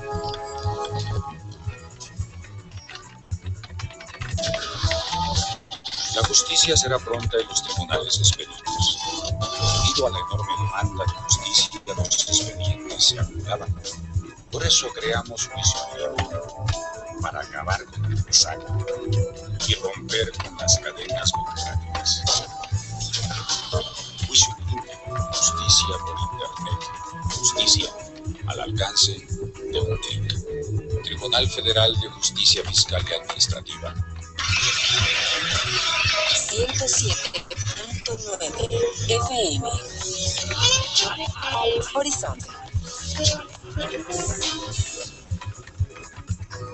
MX está de regreso. En esta edición El jesuita incómodo, austero, conservador, acusado de solapar a la dictadura argentina. Jorge Bergoglio, el nuevo papa, no es el típico sacerdote formado en la compañía de Jesús. Además, la mano negra de Romero de Champs, según los expedientes de la Federal de Seguridad. Héctor Falcón, el artista que se borró el ombligo. Y el último llanto de las tortugas Laúd. Todo esto más lo que ya sabes. Sexo, cine, humor y música. Entra a www.m-x.com.mx. MX, patrocinador del Instituto Mexicano de la Radio.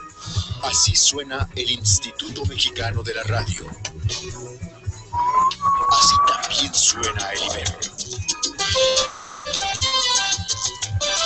De Tijuana a Mérida.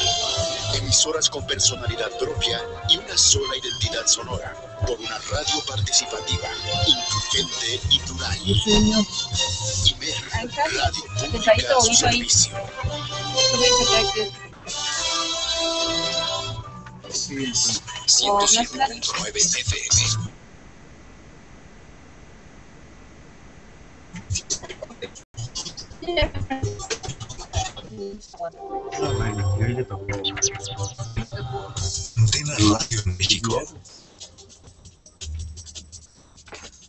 Vamos con la información. Al tomar protesta, los integrantes del Consejo Federal de Desarrollo Policial, Manuel Mondragón y Cal, el a los nuevos integrantes a cumplir con los principios de vigilancia, disciplina, combate a la corrupción, y como el impulso y desarrollo de la carrera policial de los elementos. Vamos con Sandra Tapia, quien tiene la información. El comisionado nacional de seguridad, Manuel Mondragón tomó protesta a los integrantes del Consejo Federal de Desarrollo Policial, máximo órgano de decisión al interior de la Policía Federal, en ceremonia realizada en el Centro de Mando de Iztapalapa, Ciudad de México, y acompañado por Enrique Galindo Ceballos, comisionado general de la Policía Federal. Mondragón y Cal exhortó a los nuevos integrantes del Consejo a cumplir con los principios de vigilancia, disciplina, combate a la corrupción y sobre todo el impulso y desarrollo de la carrera policial a los elementos. Ante más de 400 mandos de la Policía Federal, desde que benefició coordinadores estatales y quinto responsable de áreas operativas, el Comisionado Nacional de Seguridad destacó la importancia de este consejo para regular a una corporación que será fortalecida. Dijo que la Policía Federal va a ser ejemplo de lo de mucho tiempo de respeto, ejemplo, fortaleza, amabilidad y honradez.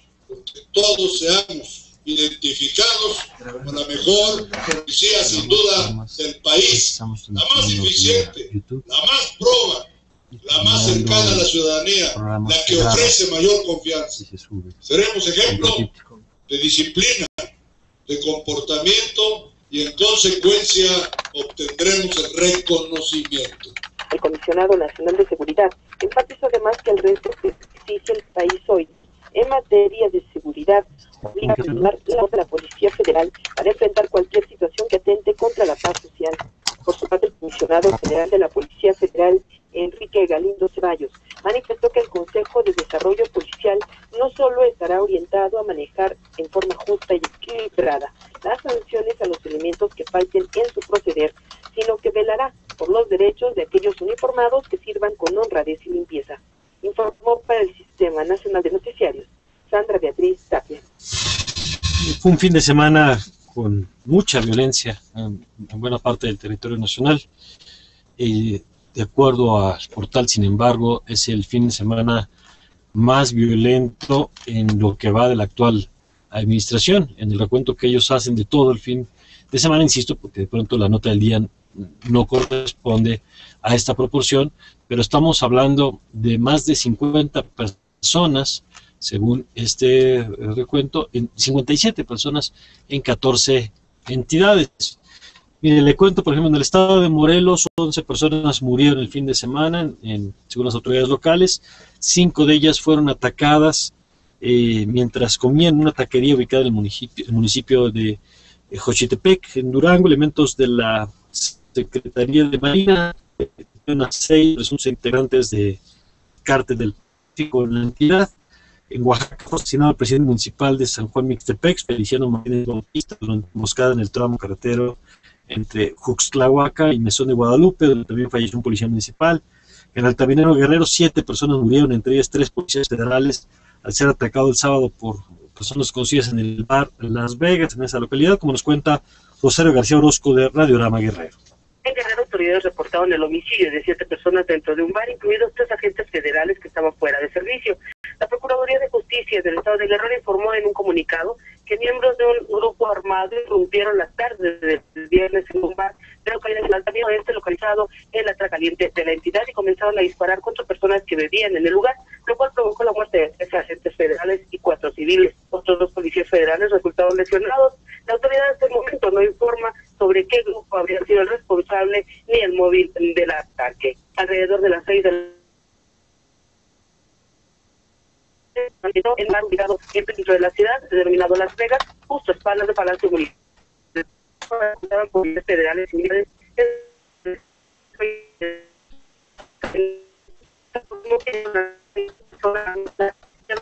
contra todas las personas que se encontraban en el interior, luego se dieron a fuga. Este no fue el único hecho lamentable de violencia en la tierra caliente de la entidad. También eh, se reportó que un comerciante fue asesinado balazos en el centro de la ciudad, en el interior de su domicilio. Siete minutos después de la primera balacera en, la cantina Las Vegas. La víctima era Wilber Pineda Pineda, de 30 años de edad. Los asesinos se dieron a la fuga en moto y hubo también una balacera más. Esto fue en contra de una vivienda. Eh, Esta atacada en la colonia Lomas, en la comandancia de policía. Los hechos se registraron a las 6.30 de la tarde. Se reportó que no hubo personas lesionadas en este último hecho, solo daños materiales. Para el Sistema Nacional de Noticiarios, Rosario García Orozco, Rama Guerrero. Y allá en Guerrero también, en el municipio de Tixla, representantes de la comunidad del Tocón presentaron una policía que era 25 elementos. En Uapa, Michoacán, elementos de la Policía Ministerial de la entidad localizaron siete cuerpos, entre ellos de menor de edad. Esto es el paseo- el de las Cárdenas en la colonia La Joyita. En Huatusco, Veracruz, se un enfrentamiento entre presuntos delincuentes y policías federales con cinco personas muertas. En Jalisco fueron encontradas 22 bolsas negras con restos humanos en diversos puntos del estado. En Tamaulipas, un enfrentamiento entre un grupo armado fuerzas de esa entidad. Un grupo de hombres armados también interceptaron e incendiaron un camión en las tiendas de las tiendas Abarrotes Real, propiedad del alcalde de Matamoros, eh, Guillermo del Real Castañeda. Como ve, un fin de semana, insisto, particularmente violento en el país. Fue detenido este domingo el expresidente municipal de Tapachula, Chiapas, Emanuel Nibón González, quien es acusado de peculado y de recursos públicos, delincuencia organizada y abuso de autoridad. Vamos al reporte con Diego López de la XIPO, los vientos del sistema de de Chiapas. efectivos de la policía municipal y Hay dos documentos. estuvieron el domingo al municipal y también el candidato a gobernador del estado por nacional uno de los municipales. ¿Qué sucedió en el ubicado en el municipio de Chiapas? Esta información la brindó el director de Seguridad Pública de ese Carlos González Amaya. Funcionario municipal explicó que la detención del eh, de Tapachula se registró alrededor de las 3 de la madrugada de este domingo, cuando esta persona bebidas embriagantes en compañía del ex director del Comité de Agua Potable y Administración de Estación, Henry Muñoz. Amaña señaló que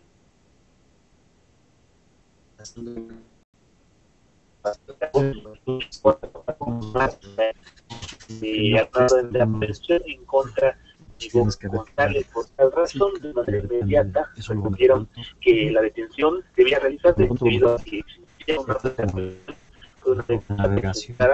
por el órgano de fiscalización del Congreso del Estado debido a Y este, y irregularidades otro que documento aparentemente se digamos, cometieron importante, pues, es el guion. durante la gestión 2011-2012 Es este. en Tapachula. De esta manera, que el ex cabezas fue trasladado de manera inmediata al penal estatal conocido como una Amate, que se ubica en el municipio de Jalapa, donde tendrá en- que en enfrentar los cargos que se le Entonces, imputan. aquí, a diferencia Cabe de que sea un que el guion electrónico, digamos, el en la computadora, como en otras es aquí es decidido por imprimen las notas, del gobernador del estado, Informó Diego López de la radiodifusora México para la voz de los vientos, sistema de radiodifusoras culturales indigenistas de la CDI para el Sistema Nacional de Noticiarios. En el marco del 19 aniversario luctuoso de Luis Donaldo Colosio, el presidente nacional del PRI, César Camacho, afirmó que las reformas legales y las políticas públicas comprometidas en el Pacto por México deben beneficiar a tanta gente como sea posible, como nos cuenta Sandra Tapia. En el decimonoveno aniversario luctuoso del candidato presidencial del PRI, Luis Donaldo Colosio, quien fue asesinado en un acto proselitista en Lomas Taurinas, en Tijuana, Baja California. El dirigente nacional del Partido Revolucionario Institucional, Este, César Camacho, bueno, pues señaló sí que se Colosio ganó. vive porque está vivo el ánimo que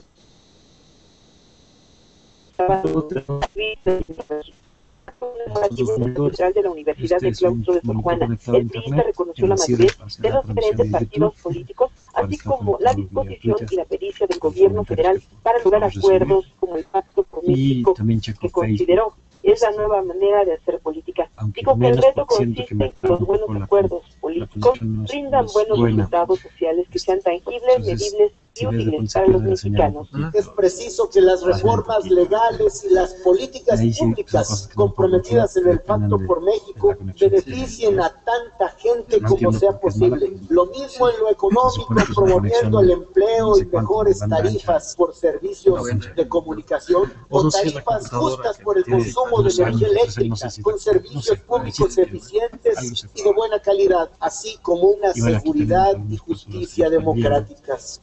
Camacho Quiroz refirió que es el justo Pues es momento en el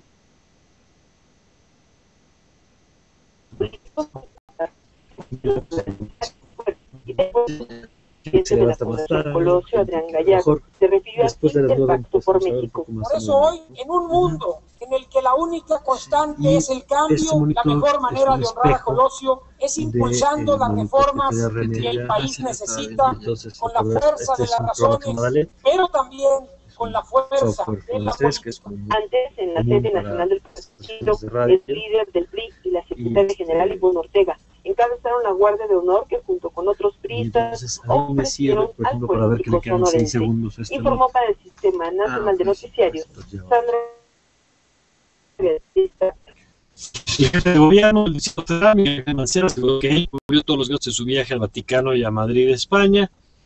Y esto anteriormente que había un costo para la Ciudad de México. La información con Diana Cruz. El jefe de gobierno capitalino Miguel Ángel Mancera reiteró que los gastos de su viaje al Vaticano y a España fueron sufragados por él, por lo que no representaron ningún costo para la ciudad. ¿De cuánto fueron los gastos? Pues mira, todos los gastos han sido sufragados por mi persona, entonces todavía no he hecho las cuentas, pero habrá que hacer un cierre pronto. Y yo se los comenté, yo se lo comenté en, eh, en, un- en el momento que estuvimos en cercanía, que no generaría ningún gasto a la ciudad. Aclaró que los cinco días que estuvo fuera de la Ciudad de México ya le fueron descontados, al igual que a las dos personas que viajaron con él. Asimismo, señaló que en este viaje al extranjero se concretaron diversos acuerdos en materia de sustentabilidad, promoción turística y seguridad. La verdad es que ha sido un viaje muy productivo, ha sido un viaje que nos ha dejado con la secretaria, eh, la ministra de Fomento de España, con quien hemos acordado tener eh, comunicación con sus diferentes áreas. Nuestra Secretaría de Economía estará en vinculación directa con ella, con la alcaldesa de Madrid, con quien pudimos ver más importantes temas por la infraestructura, la movilidad, el desarrollo y la innovación en la ciudad. En otro tema, afirmó que el gobierno del Distrito Federal esperará la resolución del Tribunal Superior de Justicia del Distrito Federal en torno a la reclamación por 4 mil millones de pesos que presentaron los contratistas de la línea 12 del metro por trabajos ejecutados que se consideraron adicionales. Informó para el Sistema Nacional de Noticiarios, Diana Cruz. Por su parte, al término de la ceremonia del Domingo de Ramos en la catedral, el vocero de la Arquidiócesis de México, Hugo aseguró que la invitación al jefe gobierno afirmó que la relación entre la iglesia es una nueva etapa y se refleja en el ámbito social como el desarme voluntario realizado en los templos religiosos, que mira, aquí al final el tema era si era un viaje de trabajo, lo normal es que se cubriera con viáticos, como ocurre con cualquier gira de trabajo. Si era un viaje personal, pues, es normal que, haya, que se pague con sus propios recursos. Lo que resultó confuso aquí es que se cubrió como si fuera un viaje personal, pero se presentan resultados como si hubiera sido un viaje oficial, y eso es lo que creo que ha generado esta confusión informativa de los últimos días. 8 con 43. Tiempo de una pausa. Le agradezco a Edgar David Heredia sus comentarios. Gracias por estar con nosotros. Eh, le recuerdo 56 28 10 36 56 28 17 37 y el 01800 500 46 37 y las redes sociales también a su alcance en twitter.com diagonal antena radio twitter.com diagonal Mario Campos y facebook.com diagonal Mario Campos Cortés para que estemos en contacto durante el programa y después del mismo. Vamos ahora a una pausa y enseguida regresamos.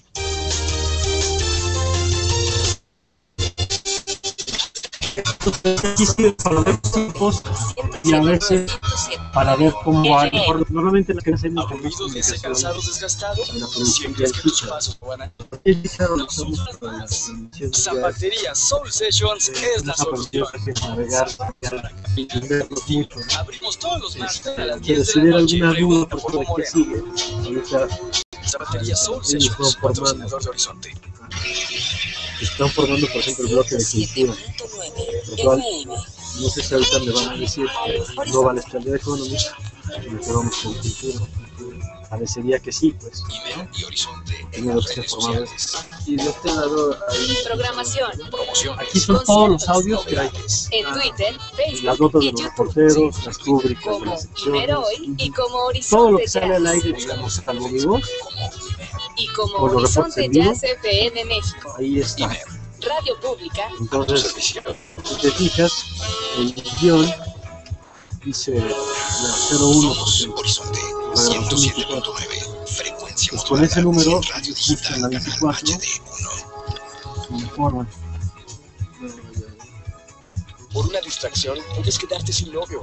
Esta Por una distracción, tal vez no sepas que es la, un para redacción ti. Juan Carlos. Por una Central distracción, gusto. Y hay distracciones que pueden ser fatales. No pongas en riesgo tu vida y la de los demás. Si vas a manejar, no tomes alcohol, uses el cinturón, no uses el celular, respeta las señales viales y los límites de velocidad para que tú y tu familia viajen felices. Secretaría de Comunicaciones y Transportes, Gobierno de la República. 107.9 FM. Horizonte.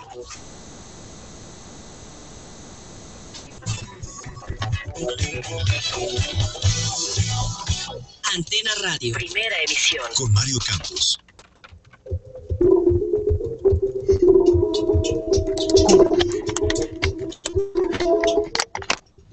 Juan Carlos Valdés, ¿cómo Mario estás? Campos, un gusto saludarte, muy bonito lunes, vamos a más información de la cultura y más información de la cumbre Tajín Carolina López Hidalgo. Tras tres años de observación en el edificio de los nichos de la zona arqueológica de Trajín, se apreció el fenómeno Muy bien, ¿ya se donde fue la acción Carolina? Efectivamente. La vamos a seguir oyendo porque siempre tratamos de cubrirnos, sobre todo en vacaciones, dejándonos notas. Esta nota no sé realmente qué onda, porque dice... En el edificio de los nichos del Tajín se aprecia un fenómeno solar similar al de Chichen. Ah, no, pues ya estuvo. Aseguran investigadores, o sea que solo los investigadores lo ven, o qué onda, O sea, no, no, no, no. Es un de iluminación y baja de cuarto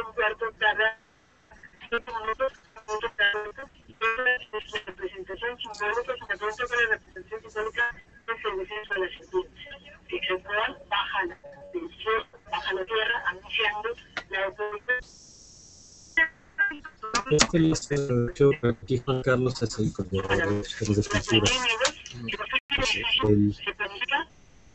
El, el, tarea de trabajar con Karina Hidalgo y Amelia Rojas este, para cubrir todo. Yo creo que es el, es el medio que seguramente más cubre eventos culturales. ¿no? Sí, sí, electrónico sí, por supuesto. Sí, sí, sí, sí, eso sí. sí. Que habla del calendario agrícola de los totonacas. Todo se reproduce, la vida se reproduce. Eso es realmente eso. Pero a mí nada más no es para la cultura, o sea, es para la reproducción de la vida. Reportó para el Sistema Nacional de Noticiarios desde Papantla, Veracruz, Carolina López Hidalgo. Un total de 195 candidaturas procedentes de 54 países, entre ellos, por supuesto, México, fueron ya hechas a los premios Príncipe de Asturias 2013. Este año, estos reconocimientos celebran su trigésima tercera edición. Los premios están destinados a galardonar la labor científica, técnica, cultural, social y humana, realizada por personas e instituciones.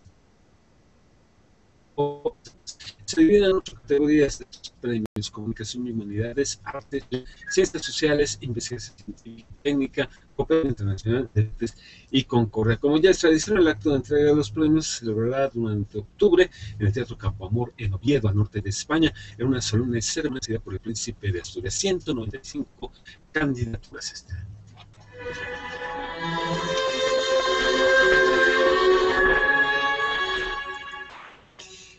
La radio pública apuesta para que seamos mejores en la vida, así lo aseguró la directora del Instituto Mexicano de la Radio, Ana Cecilia Terrazas, durante el festejo el pasado fin de semana por el trigésimo aniversario del Instituto Mexicano.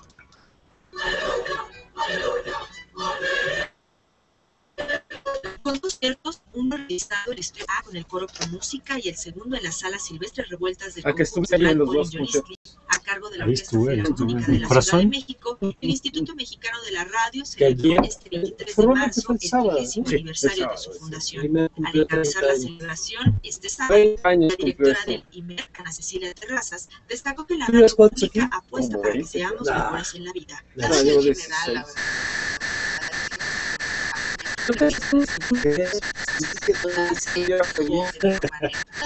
Luego me casé y entonces ya era irresponsable salirme.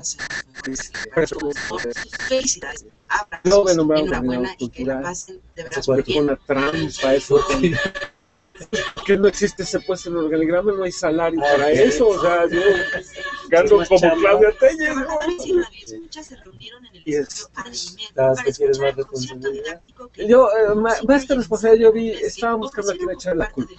¿no? O sea, ¿a quién? De Cuando me nombraron, éramos nueve en personas en Nueve personas. en. Tres redactores, mañana, tarde fin de semana, dos en conductoras, ya son cinco, cuatro reporteros ellos, nueve. Quedamos tres para todo. A empezar. No, pero a mí me dijo Cecilia, este, o te quedas tú con el programa y la coordinación o traigo a alguien al que sí le voy a pagar. Y que iba a ser un amigo suyo, ¿no? Así. Sí, no, pero... Dije, a ver, de trabajar para otro. Tratar de... No, y, y los que estábamos, ¿no?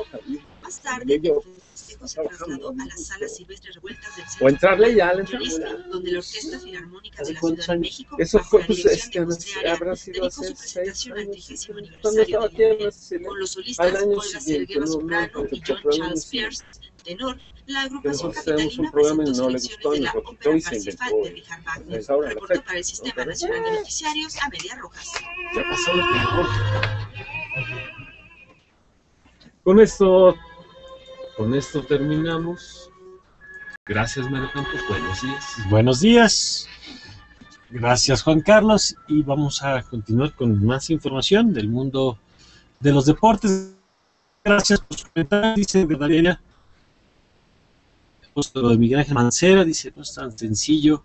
Descubierta la mentira de que había invitado, cree que todo el problema queda resuelto con me invitaron, yo descuenten los días, así es más barato, dice, la ciudadanía debe ser más exigente y crítica con estos casos. Eh, dice, como es de izquierda, todo lo pasan y cubren el comportamiento del PRD en el DF. Bueno, a propósito de este, de este caso de Miguel Ángel Mancera, dice también Aldo Zavala ha propuesto el tema. Bueno, es un tema que ha calado eh, el manejo de los gastos durante este viaje. Eh, dice BJ, a mí me descontaron cinco días por viaje personal. A Mancera le descontaron cinco días por viaje personal.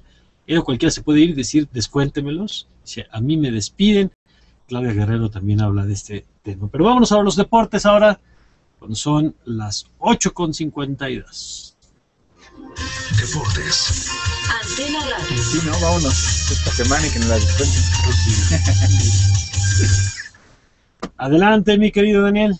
Vámonos con más actividad del deporte amateur, Mario amigos. Solo dos de los casi 200 atletas que participaron en el selectivo rumbo a los relevos de Moonsack lograron dar la marca mínima para participar en dicho certamen que se celebrará en abril en California. La unidad deportiva de Acapulco, donde este fin de, semana estuvimos, vio como durante cinco horas los mediofondistas fracasaron en su intento de registrar sus mejores tiempos en 1505, 10.000 y 3.000 metros con obstáculos en ambas ramas. Al final, solo los gemelos José Juan y Jesús Es- Arturo Esparza Pérez Lograron 3 minutos, 43 segundos y 3.44 respectivamente en los 1500 eh, planos y con ello están listos para Moonsack. Habla al respecto José Juan Esparza, ganador de la distancia desde los entrenamientos hacemos un tipo de carreras muy, muy similares. A veces uno le, ayuda al otro, puntea las carreras, pero este, por lo general entramos a la pista y se siente el equipo, pero ya cada quien hace su carrera y lo que le esté molestando a uno no tiene que molestarle al otro porque al final de cuentas esto es individual y cada quien es el que propone su, su propio ritmo.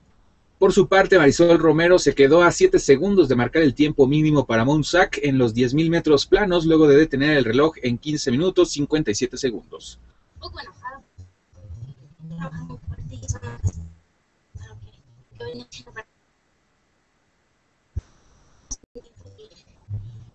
primero en, el año en la pista. Tenía me la pista bueno. Esperaba un poquito mejor pero siempre canta yo ya tengo planeado, ya tengo el calendario, ya lo tengo planeado, este, es Monsac y a me voy a ir.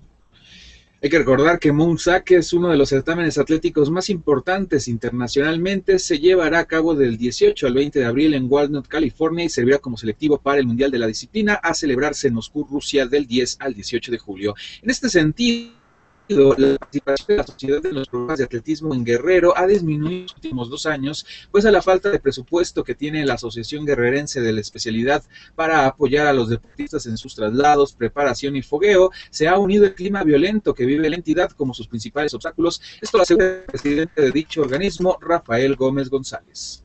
Yo esperaba un 50% más de papás estuvieran aquí conmigo, pero ahorita empieza a oscurecer en Acapulco, ya empieza a pensar dos veces el papá, ¿voy o no voy? ¿Llevo o no llevo a mis hijos? Es definitivo que nos ha impactado también aquí a nosotros. La asistencia de los muchachos ha disminuido. Por razones climáticas nosotros entrenamos de 5 de la tarde a 8 de la noche. A las 5 de la tarde, pues sí, todavía está muy bien el clima, pero a las 7 ya empieza a oscurecer y ya los niños se van o no vienen. Por temor, papá no los deja venir. Nos ha impactado en ese sentido, mucho. La práctica del atletismo en Guerrero se ha intentado fomentar a través de poco más de cinco entrenadores de alto rendimiento repartidos en zonas estratégicas del estado. Sin embargo, la apatía de la gente, su falta de recursos monetarios, falta de apoyos estatales, así como de garantías de seguridad ha frenado su expansión, añadió Rafael Gómez. Hemos intentado varias situaciones en lo personal. Voy a foros de aquí en Acapulco, en varias organizaciones. Hay una que se llama Acapulco por la Paz. Voy, presento mis proyectos, pero nos encontramos luego con la pared. Sí, está muy bien, profe, y esto, pero a la mera hora ya no vienen.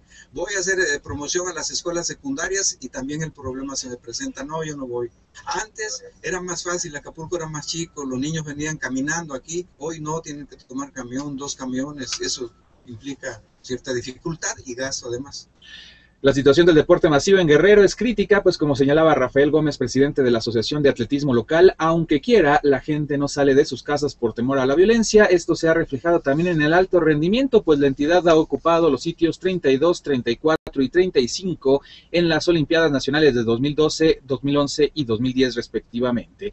En más información, en La Habana, Cuba, México se coronó en la Copa Panamericana de Voleibol de Sala Femenil Sub-20 tras vencer a la, República Dominicana en su camino al Mundial de República Checa de junio próximo. En un juego realmente vibrante, las mexicanas superaron tres sets a uno a las dominicanas con parciales de 25-23, 25-23, 14-25 y 25-15. El premio a la mejor jugadora del torneo fue para la nacional Alejandra Isiordia, quien además se llevó el trofeo al récord de puntaje con 120 unidades. En este sentido, la pareja mexicana de Viviana Candelas y Marta Revuelta está a un paso de la final de la primera etapa del circuito de voleibol de playa del norte, Centroamérica y el Caribe, tras vencer dos sets a cero a las canadienses Hitler Frenzy y Elizabeth Maloney, con parciales de 22-20 y 21-13 en este certamen celebrado en Georgetown, Islas Caimán. El sábado, los también mexicanos Lombardo Ontiveros y Juan Virgen tuvieron un inicio alentador al ganar sus dos partidos iniciales ante una dupla local y otra de Puerto Rico. Por otra parte, el regiomontano Iván García y la mexiquense Erika Varela acapararon el podio de la tercera fecha de la Copa Federación de Ciclismo de Ruta celebrada en Aguascalientes, mientras en las fuerzas inferiores también la poblana Alexa Pérez y la sinaloense Antonieta Gagiola consiguieron medalla y finalmente Alejandro Orozco e Iván García terminaron en el cuarto y quinto sitio dentro de las semifinales de la plataforma en la segunda fecha de la Serie Mundial de Clavados que se realizó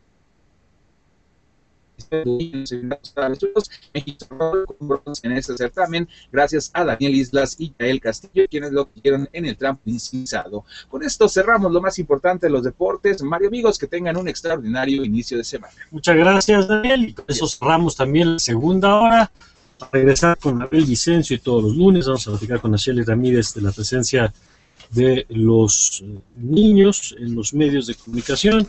Vamos a platicar de nuevas tendencias en el mundo del entretenimiento con Ricardo Farías, entre otros temas que tenemos para ustedes. Ya volvemos.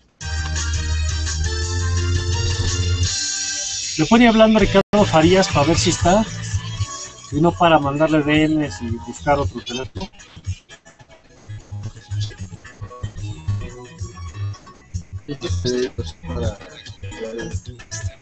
Pues, pues sí, la idea es que eh, hay veces que si tienes algún desde retomar algo que valga mucho la pena hasta que tienes un hueco y entonces por cierto hoy vale la pena que se un ojo a la los incendios, o sacar un para complementar. Le hablábamos de los incendios en San Potosí, pero ojo también allá en Hidalgo. Tú sacas te dan elementos para alargar pues no hace falta, ¿no? Y por supuesto, pues sirve para ver temas. Este, no tenemos nada hoy, pero a lo mejor van a hacer el de mañana. Se propongo. La escaleta se cierra la noche anterior, aunque en días como estos, por ejemplo, hoy que va a tocar, eh, que al final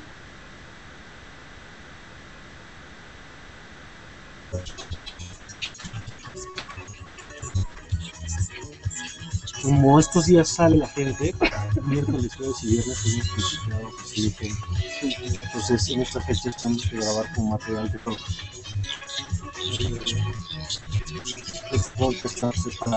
Los lunes tenemos una sección que es sobre medios.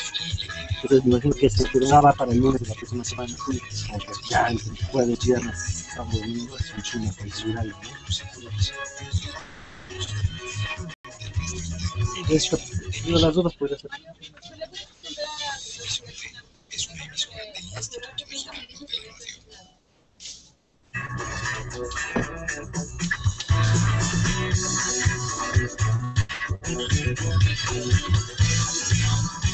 Los comentarios expresados libremente en secciones y columnas son responsabilidad de sus autores.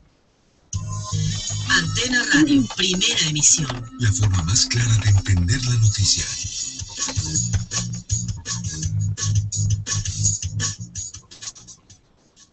Son las nueve con un minuto. Empezamos la tercera hora en Antena Radio con Jessica y el resumen de noticias. Así es, muchas gracias. El gobierno federal puso en marcha el operativo de Semana Santa para la Seguridad Integral del Turismo 2013, que por primera vez contará con la participación coordinada de 10 secretarías de Estado y 16 organismos paraestatales. En entrevista hace unos minutos, Mario Pintos, jefe de unidad de la Corporación Ángeles Verdes, se refirió a los servicios que ofrece la agrupación durante este periodo vacacional horas tenemos personal, equipo vehicular, por primera vez tenemos a disposición del turista carretero eh, 55 campers. Si alguien se siente muy cansado manejando, esté indispuesto, puede visitar ahí nuestro camper y quedarse un rato mientras se repone 640 trabajadores estamos en Ángeles Verdes, son 300 fluye, 45 plataformas y arrastre. Tenemos además nuestro call center, centro de información turística, en con UFE, Federal, desde luego con la Cruz Roja, fue el 088 y el 078 que es Ángeles Verdes. Con la finalidad de reforzar las acciones realizadas por el Mecanismo Nacional de Prevención de la Tortura, la Comisión Nacional de Derechos Humanos realizó reuniones de trabajo con los órganos locales de protección de los derechos humanos, con autoridades estatales y municipales responsables de los diversos centros de detención. El organismo informó en un comunicado que entre 2007 y 2012 ha realizado 2.463 visitas a diversos lugares de detención e internamiento del país desde el inicio de la temporada de y hasta el 21 de marzo, cuando esta concluyó, se registraron 61 defunciones por hipotermia, intoxicación por monóxido de carbono y quemaduras, informó la Secretaría de Salud. La dependencia precisó que 28 de esas defunciones ocurrieron en Chihuahua, 14 en Sonora, 6 en Coahuila, 1 en Durango, dos en Baja California, una en Tamaulipas, seis en Zacatecas, una en Puebla y una más en Nuevo León. Antena Radio, en el centro de cada estación. Radio Azul, 1560 AM, Lázaro Cárdenas, Michoacán. El comercio del centro de Morelia, Michoacán, se verá afectado en esta temporada vacacional a causa de las marchas y plantones de normalistas, señaló Alfonso Guerrero, titular de la Coordinación de Comerciantes y Vecinos del Centro Histórico. Estimó que el plantón generará pérdidas por 30 millones de pesos en temporada vacacional, por lo que confió en que pronto el gobierno de Michoacán En Cultura del Universal, esta es la información. Centro Histórico de Puebla, Patrimonio en Peligro. Ante la falta de respuestas en México, el Comité Mexicano del Consejo Internacional de Monumentos y Sitios ha solicitado a la UNESCO que incluya esta zona de la capital poblana entre los monumentos en riesgo. Genética para certificar calidad de la tras el por adulteración de productos de con cabrova, se plantean que aplica ADN y información. Muchas gracias.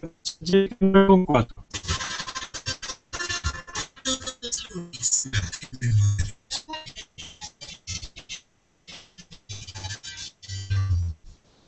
Vamos a platicar en esta mañana, como lo hacemos cada lunes, de los temas que están marcando la agenda en la radio y la televisión, los temas que hay que eh, tomar en cuenta a la hora de hacer un consumo crítico de los medios. Vámonos como cada lunes con Abel Vicencio.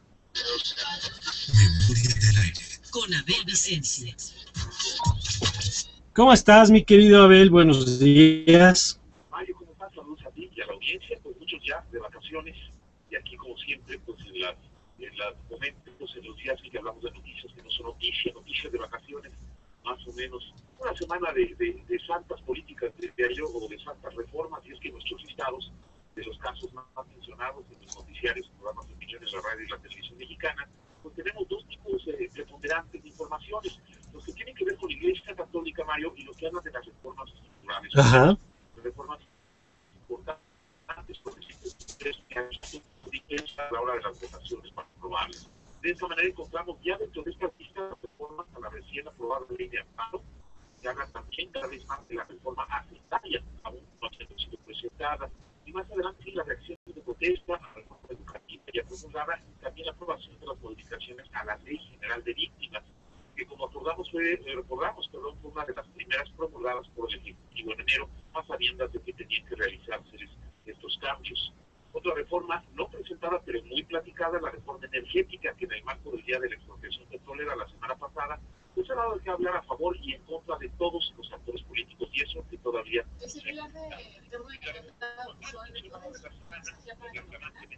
reforma a la Ley Federal de Telecomunicaciones pasado, cuando se le vea de mucho alcance, de gran calado, como se diría en el argumentario, y cuyas consecuencias a mediano y largo plazo dicho aquí, en cómo se articulen estas reformas en las leyes reglamentarias correspondientes. Pero,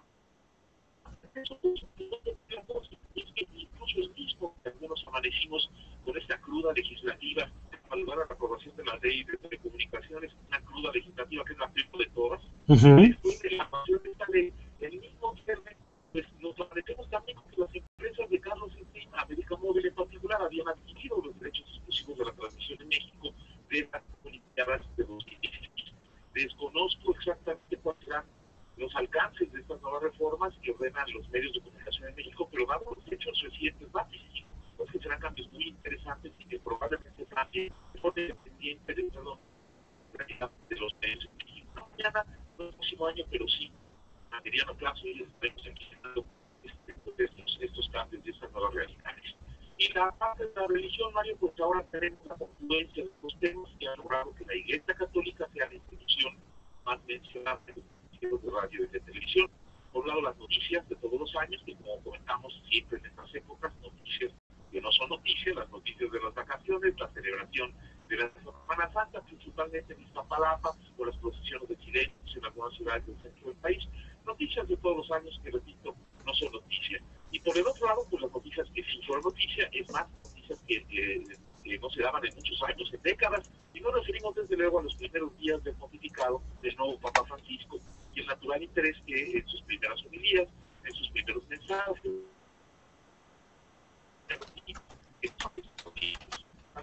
la Iglesia Católica, por diferentes razones, es la institución más mencionada en los noticieros de radio y televisión esta semana. Los personajes varios asociados a estos temas, Ajá. el enseñamiento del Papa, el Papa Francisco, el segundo, no quiere que estaba con José Mario Bergoglio, pero ya que cambiar el nombre Ajá. a Francisco y, este, y, y, y dejar su nombre anterior nada más como referencia. Tenemos también a- a- al presidente norteamericano Barack Obama y al gobernante capitalino Miguel Ángel Mancera, que también es ya una tradición que en los días, en los días de vacaciones empieza eh, el, el gobierno local de la Ciudad de México, que necesita preponderante por diferentes cuestiones que se hacen, o sea, o se, o, o- o se, se considera como, por, por ejemplo, los, eh, los y eh, las ahora no este, inauguraciones de las albercas o de estos eh, balnearios improvisados. En fin, la- digamos que la, la política nacional descansa un poco, la política local eh, eh, eh, noticiarios de radio y televisión. Y bueno, pues eh, estaremos los próximos días pues tranquilos, tomando muchos, algunos días de descanso, y los que no, pues muy pendientes de las informaciones que surgen, María. Muy bien, pues te agradezco, Abel, como siempre, la información. Hasta la próxima semana. Hasta la próxima, Vicencio, director de radio y televisión. Son las nueve con nueve, vamos a un corte y enseguida regresamos. Hasta aquí estamos sufriendo un poquito porque nos falta un entrevistado, que es el que le está marcando el teléfono si no contesta, no lo contesta. Si no lo contactan, tiene que tener que otra. Ahorita,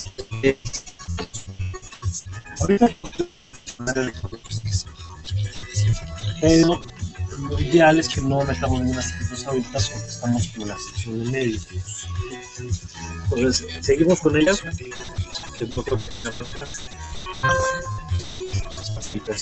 Me faltaría. En el peor de los casos, también lo que puedo hacer es que me alargue con ella Esta que Ya, ya se lo mandé. Se alarga. Ya largo con esta entrevista. Tendremos que salir con escaleta.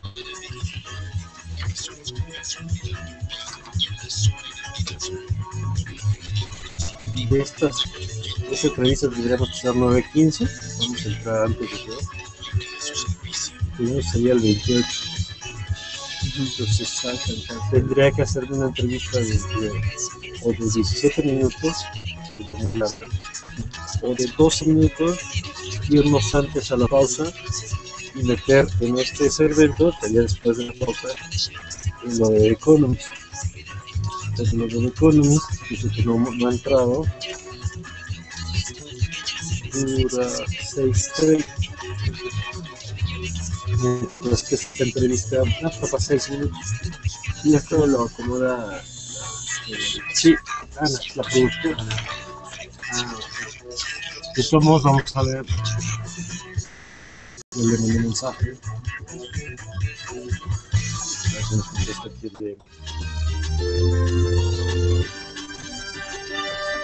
No solo damos la noticia. Cada 17 de mayo se celebra el Día Internacional contra la Homofobia y la Transfobia. También le explicamos. La homofobia es el rechazo a hombres o mujeres homosexuales, mientras que la transfobia es la discriminación hacia las personas transexuales o transgénero. Antena Radio Express. La forma más clara de entender la noticia con Nora Patricia Jara. Lunes a viernes de 14 a 15 horas. 107.9 ¿Qué pasa, FM Ana? 1220 ¿Qué pasa en el teléfono? por nuestras emisoras en el interior de la República. Por internet. www.tunmer.com.mx ¿Qué pasa con el teléfono de casa de Ricardo? Instituto En casa no está yo. Y dice que ahí no está. Todos los lunes.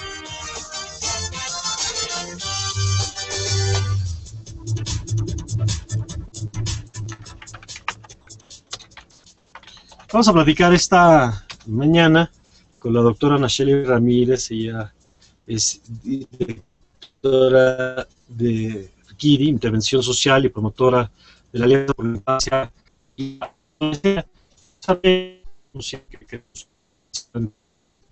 del país por la nota que se el pasado viernes, después de que la policía preventiva en esa ciudad de acusada de narcomenudeo.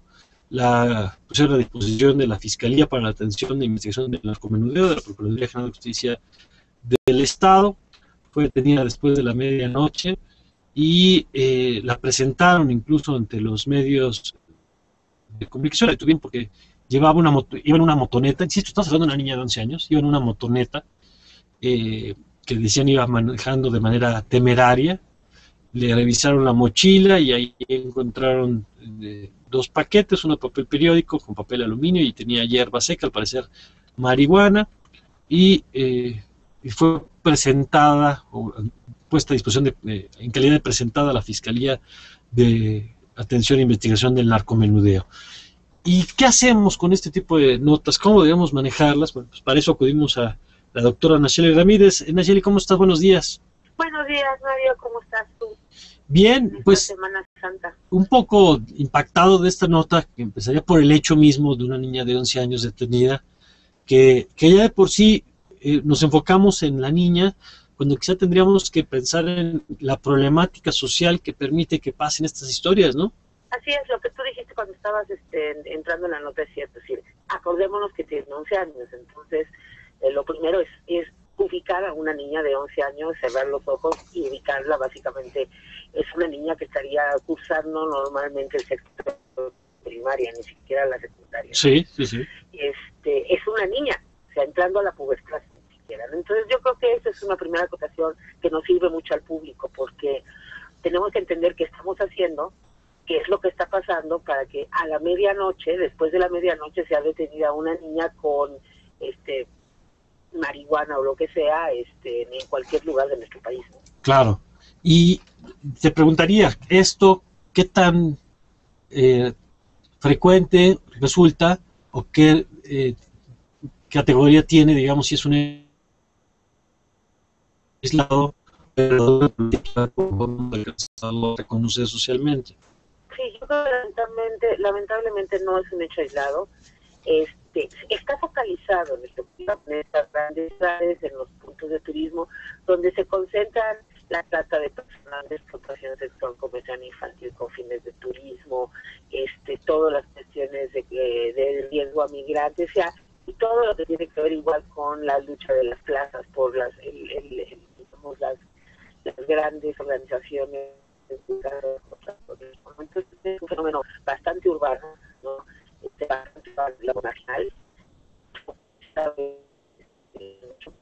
La, cómo exactamente este fenómeno, y lo hemos comentado está teniendo desde hace algunos años estas características. Uno, en la disminución de la edad, que los la delincuencia eh, opta a los de cada vez menor edad, dos, a. ¿no? Hace 10 años, digamos, el fenómeno esto de incorporarse en pandillas con eh, fines criminales se daba en, la, en adolescentes ya tardíos, en, de 15 años en adelante, y en varones, difícilmente en niñas. ¿no? Y ese fenómeno lo hemos estado documentando desde hace alrededor de cuatro años, cinco años, y ha ido creciendo. Pero fíjate, tenemos estas dos dimensiones del tema, Shelly. Un, por un lado, la problemática social, por la otra, cómo nos contamos esta historia como sociedad. Y ahí los medios, y por eso en este segmento de medios queríamos platicar contigo. Te leo, mira, la nota, por ejemplo, de alguno de los medios, eh, en el caso de Noticios Televisa, dice la página web, su carrera como presunta distribuidora de droga terminó por, eh, terminó por incurrir en exceso de velocidad carrera como distribuidora de drogas de una niña de 11 años, Nacheli? No, para nada. Esa niña es una víctima y no tiene una carrera. Yo creo que bastante allá de los niveles. Primero es cómo la autoridad, y eso que estoy hablando no nada más de niños, hoy, en la semana pasada, se presentó en la Comisión Interamericana de Derechos Humanos una, este, digamos, una, un, informe, una denuncia. Los mexicanos en sectores de defensores de derechos humanos están optando cada vez más por decirle al gobierno, al gobierno federal, al gobierno de los estados, a los gobiernos locales, que la práctica de exposición a medios antes de ser juzgadas es violatoria de derechos humanos, para adultos y para y mucho más para niños. Entonces, de entrada tienes a la autoridad que tiene una práctica eh, arraigada en, varios estados del, del, país y uno de los que está reportado como bastante arraigado es Quintana Roo, este, en donde están exponiendo no nada más a los niños, sino también a los adultos. Y esto lo, lo que nos tiene que dar claro es una, es una expresión que viola los derechos tanto de, a cualquier edad. Claro. Es inadmisible. Pero mira, esto que dices ahora, estamos viendo aquí en la cabina la, la fotografía en varios medios, concretamente este es el pulso de San Luis Potosí, pero es uno de varios, y lo que se ve en la imagen dice Policía Municipal, Cancún, el escudo de la policía, y debajo del escudo una niña, pues una niña de 11 años, le, le ponen una marca en la cara, pero ¿en qué momento una autoridad, en este caso es, supongo yo, la policía de Cancún, que depende de la presidencia municipal de Benito Juárez, eh, decide que se puede presentar ante los medios de comunicación a una niña cuando ya hemos hablado, y tú lo decías ahora, de lo que significa la violación para cualquier persona, porque se viola la presunción que ya no juicio de sino que ya dice, ah, lo agarramos y este es el, responsable. Pero hablamos, insisto, del dato, porque es ¿cuál es el nuestro país, no sé, para actuar en estos casos contra las autoridades que están eh, optando por presentarla así ante los medios? Mira, fíjate que lo, lo, lo, triste del asunto es que estamos picando piedra, porque la autoridad no tiene, no hay ningún marco legal que le prohíba exhibir a medios antes de ser juzgado. Es más, en ningún, es decir, la Comisión Interamericana de Derechos va a emitir una recomendación, pero no son recomendaciones vinculantes, y tiene que haber un proceso de sensibilización y de trabajo con las autoridades y con la manera que hacen esta, esta exhibición. Ellos plantean que ellos plantean que lo que pasa es que dado que no hacen investigación, verdad, lo que les sirve la exhibición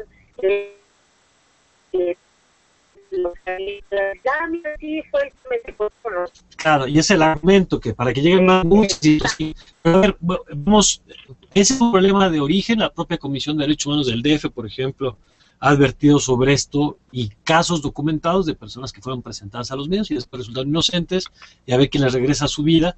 Pero en este caso, por ejemplo, cuando hablamos de una niña de 11 años, eh, ¿qué marco legal aplica que proteja la imagen de un niño eh, y, en todo caso la responsabilidad de quienes vulneran sus derechos?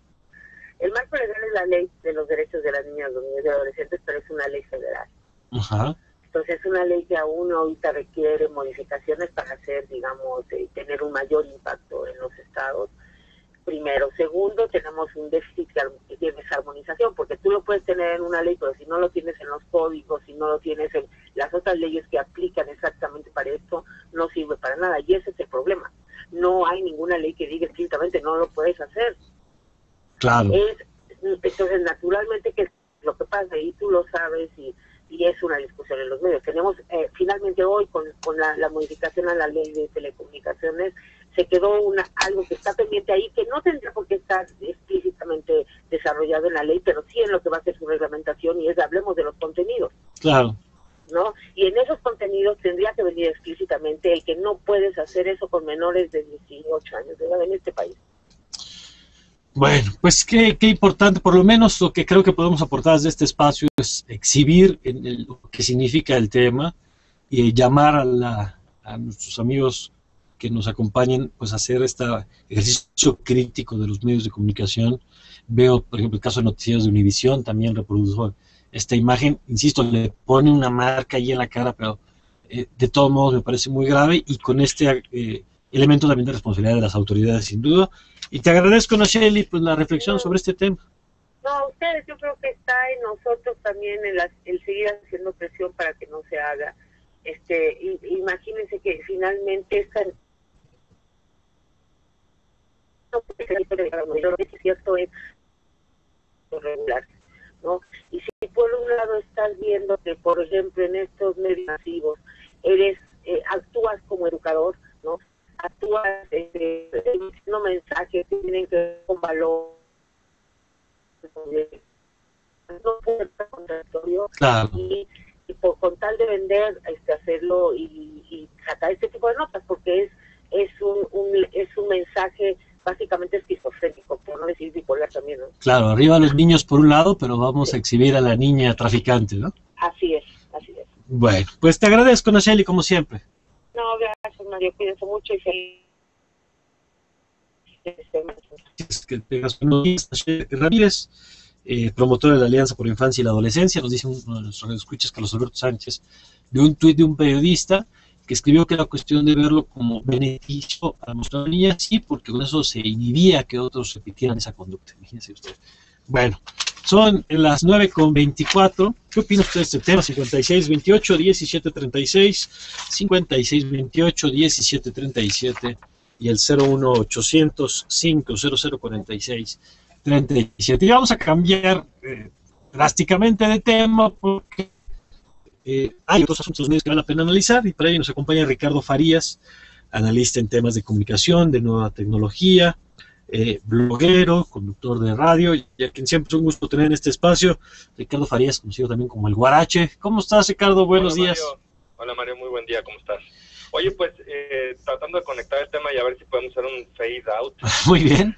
a, esa discusión sobre la exposición eh, de bueno, temas tan tan complejos y tan tan difíciles de tratar o que no deberían tratarse a través de los medios. Sí. Hay ahorita justo un debate en los videojuegos sobre el último videojuego de Tomb Raider, este videojuego con la una de las primeras grandes protagonistas en los videojuegos que es Lara Croft. Ajá. El juego se llama Survival es que digamos que zafarte de una posible un pos- una posible violación ¿no? entonces eh, hay jugadores que han- se han preguntado bueno qué pasa si eh, me defiendo Claro. y si voy a hacer eso en un videojuego entonces bueno ha abierto un debate al final si no te defiendes lo que pasa es que te, te matan en el juego no no hay Sí, sí, sí. no se, no se ve la violación pero ha sido todo un tema de discusión sobre equidad de género, eh, sobre exposición. Obviamente es- este es un juego para adultos, pero bueno, ya ya conectando con, con Claro, el tema, claro. el día de hoy la discusión sobre cuál es cuál es esa frontera, cuál es esa línea que, que divide eh, la exposición sobre este tipo de cosas en los medios, incluso en medios lúdicos como son los videojuegos. Claro, pero que no están libres, por supuesto, de la reflexión crítica sobre los, los contenidos y los mensajes que se mandan en los videojuegos o en la publicidad o en cualquiera de estas plataformas, ¿no? Yo nada más reforzando esto que señalas, ayer veía que hay un debate en la India porque Ford hizo una campaña y para mostrar el tamaño de su cajuela mostraba a tres mujeres amarradas, como secuestradas, en un vehículo conducido por Silvio Berlusconi, el ex primer ministro italiano,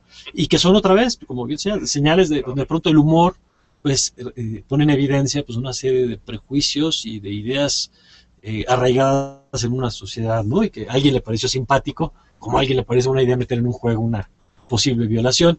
Pero bueno, vamos a temas menos duros, eh, que tiene que ver con cómo estamos consumiendo entrenamiento, el, el entretenimiento y en los medios de comunicación.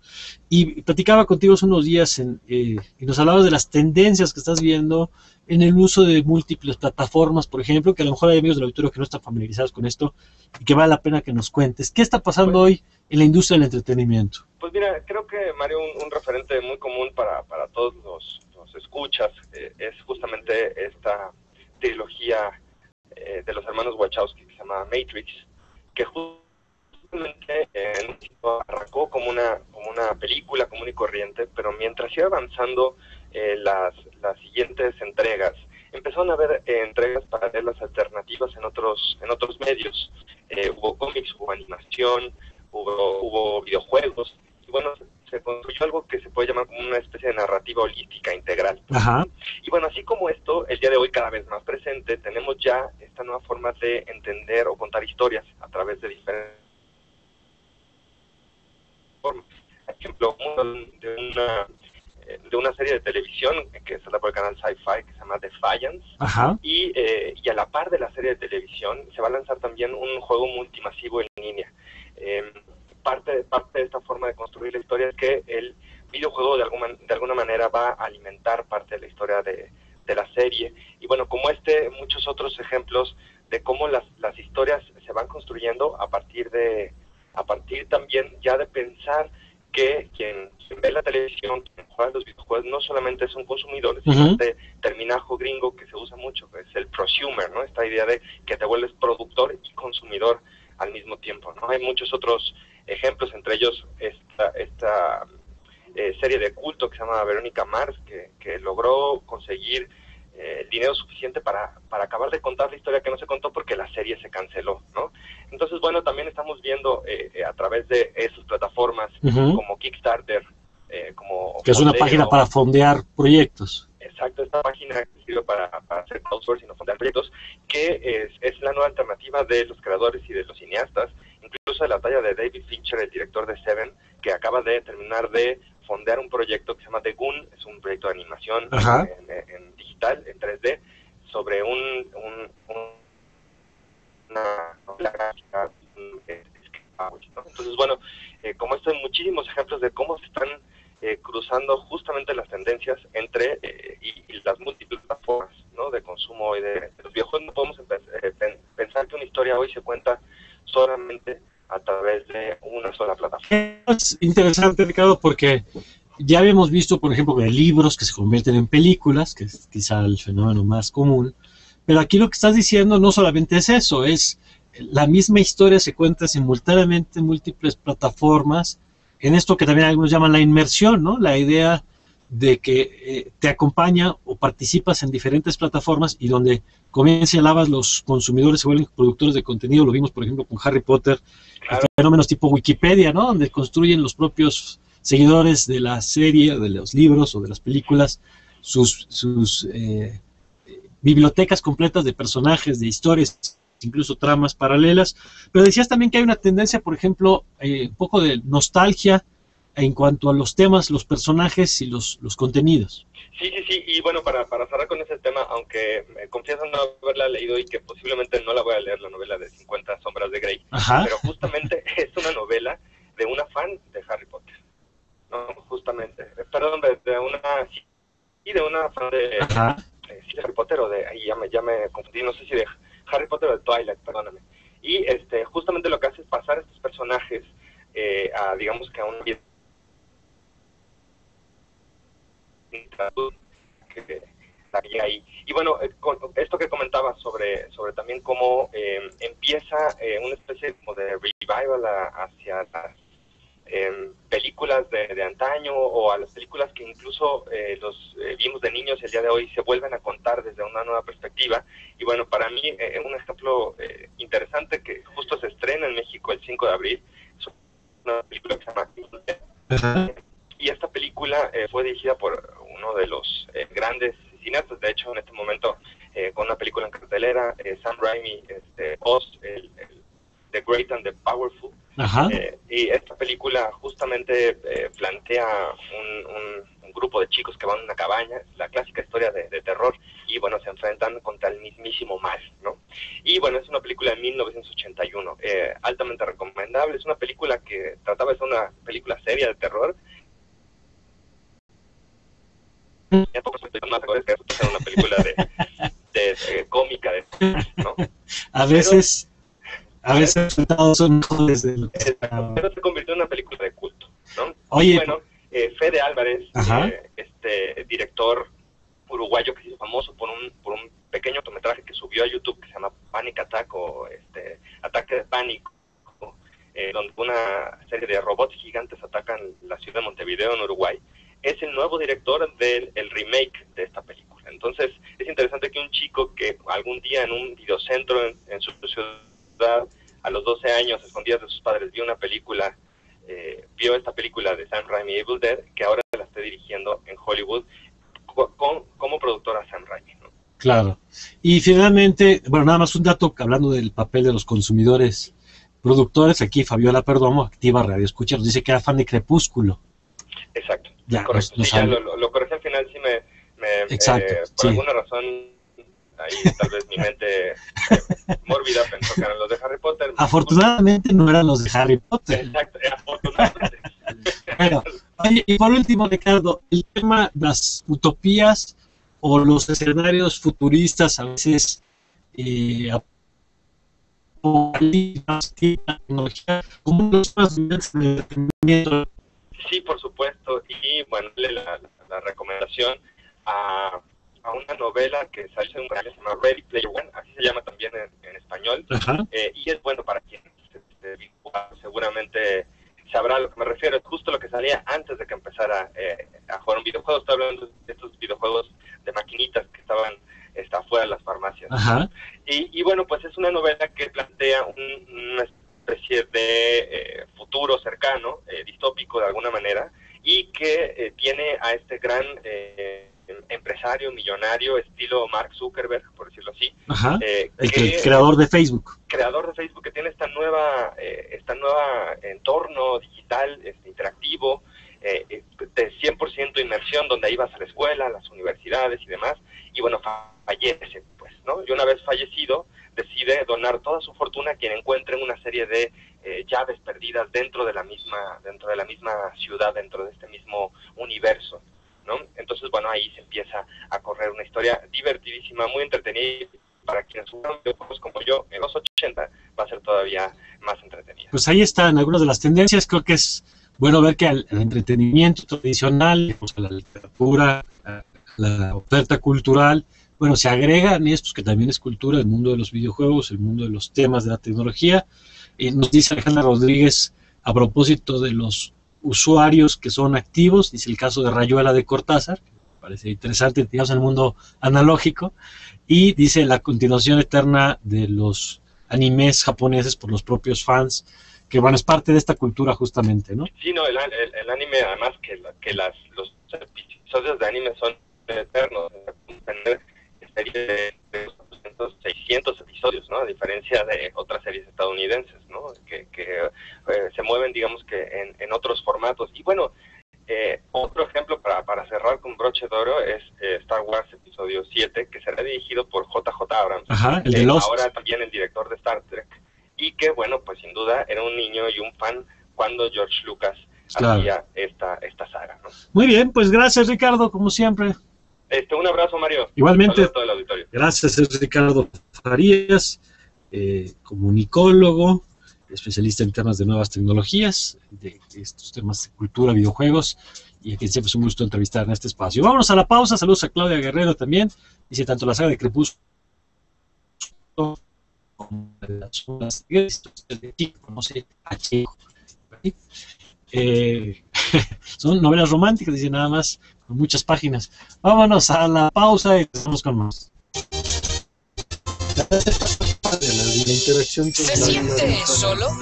que si hay un brinco, yo creo, ¿Sin motivación? cualitativo Desde los más lejanos rincones del mundo hemos recopilado los secretos milenarios de la medicina holística, la brujería y el contar, ideas y sonidos. Solo necesito una dosis de dos horas, todos los miércoles a partir de las 10 de la noche. Con una que rebosante de poco como Usted quedará curado, se lo garantizamos. Relajado y listo para dormir como un bebé. Ideas y sonidos, la pura milagrosa, fabricada en los laboratorios de Horizonte Jazz 107.9. Voy apenas en segundo semestre. Sí, ya este. Con el talento de los jóvenes escritores, Pues la verdad me gusta lenguas mucho indígenas están más ¿Sí? que nunca. Sí, Este domingo a las y 10 de la noche. Descubriremos todos los detalles voy de la de convocatoria medios. Jóvenes Creadores del Ok, ¿qué quieres hacer? Edición, producción. En biografías y momentos, Este- Antonieta Rivas Mercado. y es que las dos me. Por eso, bueno, ahorita todavía me falta ¿no? pero ya voy a hacer esa área y ya pues, conforme va pasando los años, pues voy viendo a ver aquí en el Sí, y pues ver igual lo de mi servicio, a ver, estaría muy padre. Este, mi servicio en algún Las propuestas deberán enviarse antes del 5 de Los julio. medios. Acá de aquí lo hacen mucho y. Gracias.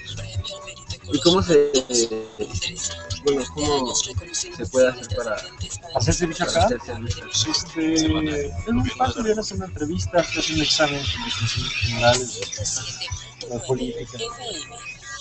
Es algo que, con que ver las noticias. Ok. Con que ver las noticias de manera regular tiene la formación. Sí, este. Bien, la verdad es que. no- Seguridad en democracia. Con Ernesto López Portillo. Antena Radio. ¿Cómo estás, Ernesto? Muy buenos días. Bien, Mario, ¿tú qué tal? Bien, contento de escucharte. Cuéntanos. Gracias. Desde ayer ya nos adelantabas el tema vía Twitter y me parece muy interesante lo que estás percibiendo en las áreas de seguridad. Bueno, ya, ya como tú sabes, hace ya algunas semanas, en alguna de mis columnas, yo señalaba que hay un silencio del gobierno federal. Digamos, lo único que tenemos claro y continuo es un, un silencio eh, tremendamente elocuente, digamos, por parte del gobierno federal con respecto a sus políticas de seguridad. Es, es muy distinto a lo que yo esperaba con el tiempo que se tuvo en transición, con la enorme cantidad de información que sé que los operadores en transición recogieron, y- y más allá de que la hayan recogido o no, la enorme cantidad de información que hoy se tiene respecto al fenómeno de la violencia y la inseguridad, a los fenómenos asociados a las violencias y la inseguridad, uno, uno, uno esperaba que, que se llegara con una propuesta avanzada eh, para el debate, quizá, desde luego, el marco del Plan Nacional de Desarrollo, para el debate en el marco de la- del, del desarrollo programático, particularmente el programa ahora que se está fraguando, el Programa Nacional de Prevención del Delito. pero no se observa, Mario, una, una, un despliegue, un despliegue conceptual un despliegue eh, eh, de propuestas articuladas que permita ir acumulando un ejercicio de integración de política pública, ir acumulando estos debates, tomando posturas y generando una ruta, una ruta que nos dé eh, eh, pues, un de cara a una crisis sin precedentes en materia de violencia, de violencias y de inseguridad. Pero el problema no termina ahí, Mario, no es solamente un asunto de silencio. De pronto surgen mensajes preocupan mucho. Creo que algunos colegas en el circuito de estos temas comparten esa preocupación.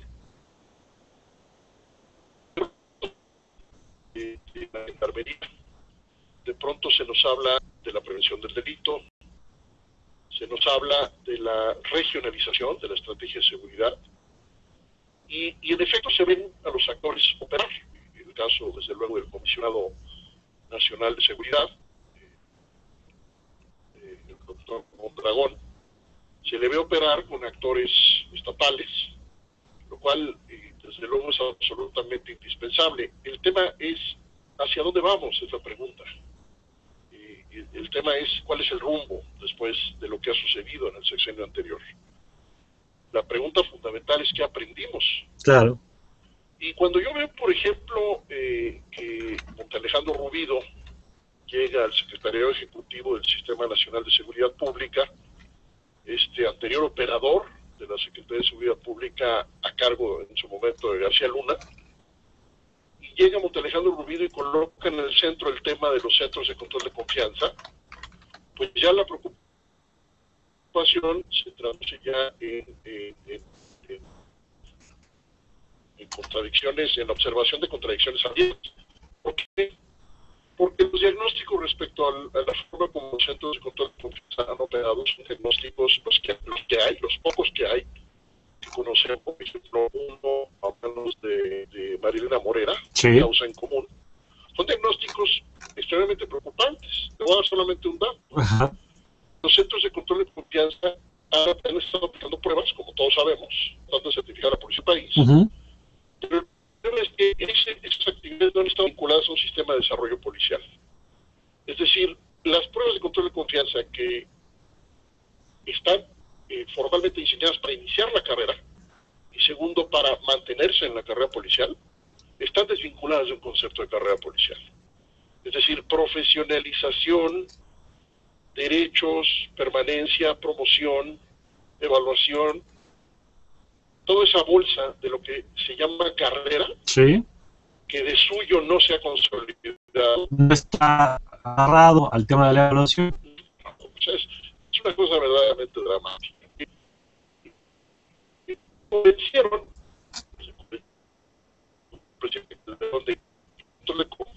donde sería la estrategia central de combate a la corrupción. Que no se va a certificar a todos en tiempo y forma, Sí, que no, la velocidad no daba. que la velocidad no daba.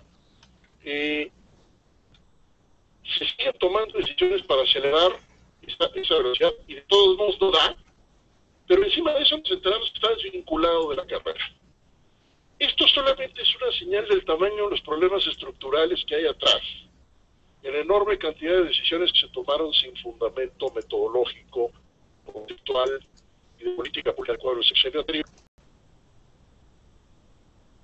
Y de no lo que vamos a hacer es repetir. Claro. Eh, el que, el que no está condenado a repetir. Entonces, estamos muy preocupados, Mario, estamos preocupados porque además yo veo un funcionamiento en paralelo entre los mensajes de, de Carlos Social, quien está a cargo de la de construir el Programa Nacional de Prevención, el Programa Nacional de Prevención Social de las Violencias y el Delito, y por otro lado los discursos y la operación del doctor Mondragón y Cal. Yo veo a dos operadores en paralelo. He lanzado este cuestionamiento a través de, Twitter porque me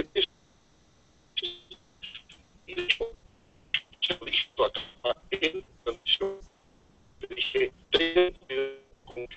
repita históricamente la acción policial y la prevención del los que no funcionan, Mario, es actor absolutamente central de la prevención del delito. Se convierte en un actor que construye prevención, que construye prevención de la mano de la sociedad, de las manos de las comunidades, a través de metodologías muy precisas, muy precisas y muy sencillas, que reconstruyen el tejido social y que cierran espacio a las violencias y a la inseguridad a través de un trabajo coordinado entre la policía y las comunidades. Si tenemos, Mario, el día de mañana, un programa nacional de prevención del delito que tiene una receta y una operación policial que tiene otra, las cosas van a seguir exactamente igual o peor. Porque vamos a tener una intención y probablemente algunos trabajos, digamos, en desarrollo en municipios y en estados, en materia de construcción de comunidades, pero sin la participación de la policía.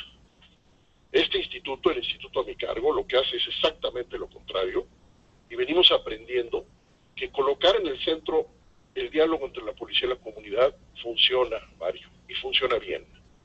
Sabemos, podemos afirmar que construir procesos e intervenciones sobre metodologías de integración, de reconciliación entre la policía y la comunidad funciona. Algunas de las personas que están eh, involucradas en el diseño del Programa Nacional de Prevención del Delito me contestó públicamente Ujú. hace, hace ya tiempo en un Twitter, eh, perdón, en un tweet, que en efecto se estaba incluyendo a la policía como uno de los ejes del Programa Nacional de Prevención. Mi pregunta es si esto es también o principalmente ha sido acordado desde el punto de vista de la, de la construcción de la política pública y del ejercicio político.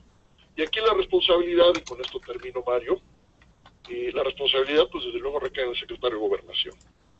Si el secretario de Gobernación no unifica, no unifica una plataforma de política pública de seguridad pública desde el gobierno federal, entonces lo que vamos a tener es una disociación, además de lo que decía antes de esta bolsa de tantos temas sobre los cuales no tenemos noticia de cuál es en este momento el aprendizaje. No se ve bien, yo quisiera estar diciendo otras cosas. Festejé, eh, celebré la puesta, eh, cuando menos, de la, de la presentación de las bases del Programa Nacional de Seguridad Pública, eh, perdóname, de Sí, prevención sí. del delito. Lo, lo reconocí abiertamente y ahora estoy tremendamente preocupado porque la Policía Federal presentó sus mecanismos de, coordina- de coordinación en Michoacán y las bases de prevención de- del Programa Nacional de Prevención de Delitos se presentaron en, en Aguascalientes. Algo anda mal. Estos dos son dos, no, no- no son dos entidades. Se concentraron estas funciones y estas actividades en una sola secretaría. Y el que tenga dudas, solamente que lea la reforma a la ley de la Administración Pública Federal promovida. Ahí está todo, Mario. Muy bien. Seguridad nacional, seguridad pública, seguridad ciudadana, política criminal. Seguimos hablando de esto, pues te dejo la preocupación y te comparto con la Muy bien, pues te agradezco, Ernesto, tu opinión como especialista. Ernesto Portillo, director ejecutivo del Instituto para la Seguridad y la Democracia, INCIDE, y uno de los hombres que desde hace muchos años ha dedicado su vida a estudiar estos temas de las políticas públicas en materia de seguridad. 8 con, no, 9 con 49. Vamos al corte y regresamos con la última parte aquí en Antena Radio. Y ahora estamos al revés. Sí, porque estamos colgadísimos. 9.49 tendremos que estar en una cápsula. Ya habíamos pasado por el bloque nacional. Ya habíamos pasado respuesta a radio escucha. Repostería Saint-Michel Otra vez, presenta atrás, pues a ver a la productora que decide. En teoría tendríamos este bloque información nacional.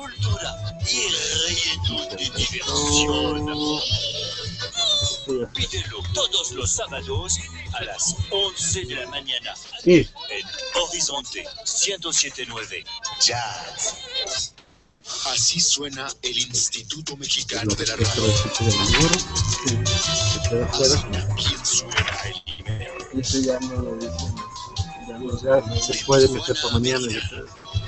Pero llevamos una estadística de, este, de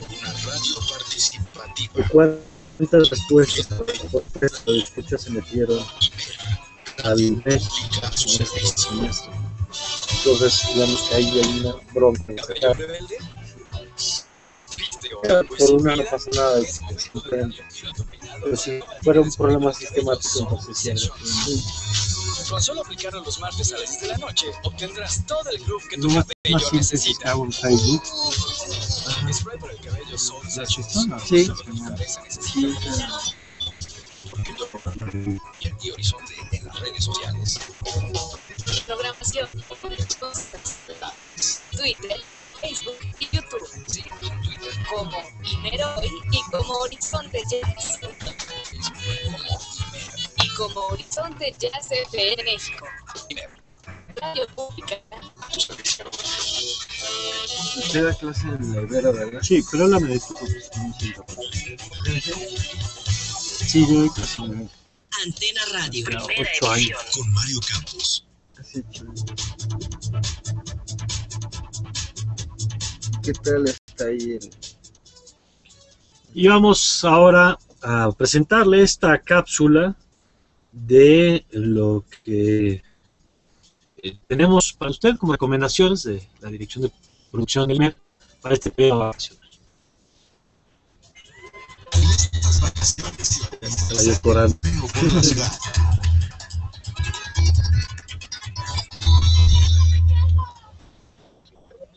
¿Te gustan los ¿Decías que qué? ¿Quieres conocer las artesanías de diferentes el- estados? Entonces visita el el Museo de Arte de- Popular de- en la Ciudad de México.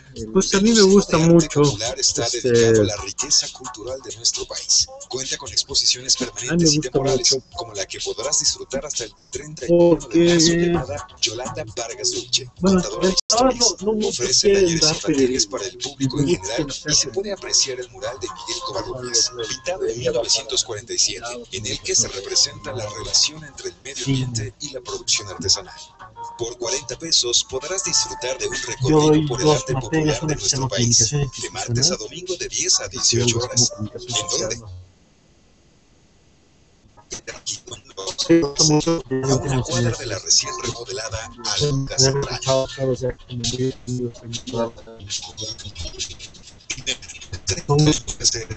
escuchado,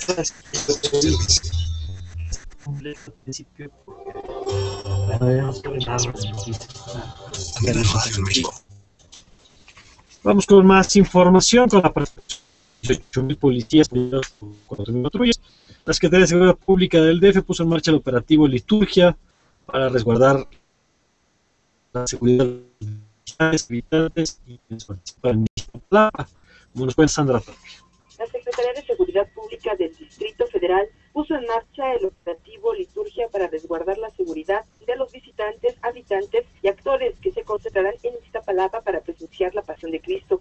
Mediante un comunicado, la dependencia informó que más de 18 mil policías apoyados por 4 mil patrullas se coordinarán para garantizar el orden y reforzar los dispositivos de vialidad en la zona con motivo de la celebración religiosa. Los agentes de tránsito estarán a cargo de regular la circulación vehicular y movilidad de los peatones, así como impedir el estacionamiento irregular en la zona centro y en el camino al Cerro de la Estrella. Durante el operativo, el agrupamiento Granaderos resguardará el recorrido de los actores para evitar incidentes, principalmente en el paso de los caballos que se utilizan. De igual forma, los uniformados contarán con el apoyo de las cámaras de vigilancia del Centro de Control y Comando Oriente para detectar la posible comisión de ilícitos y casos de emergencia. En el operativo también participan la Secretaría de Salud, Protección Civil, Escuadrón de Rescate y Urgencias Médicas, Cruz Roja y grupos voluntarios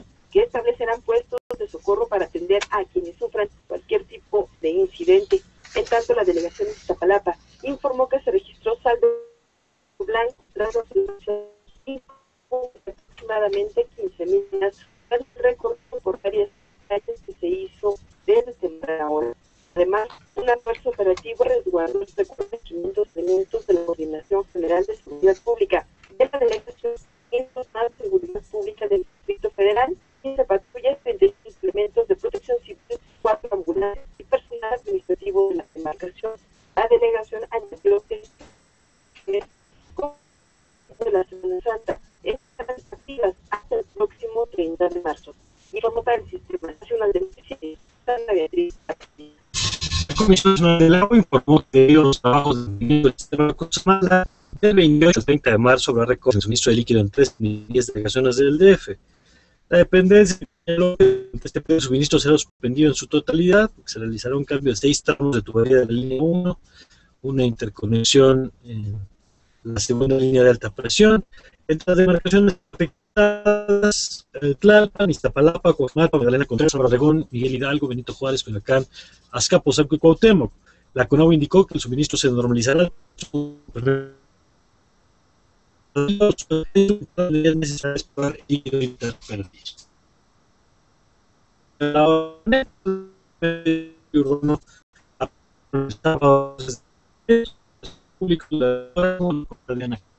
la secretaria de que la.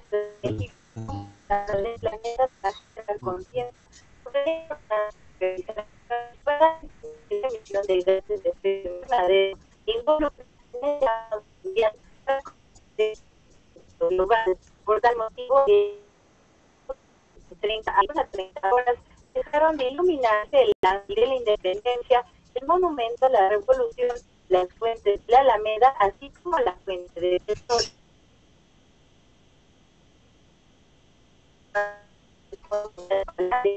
Incluye pagar aparatos electrodomésticos,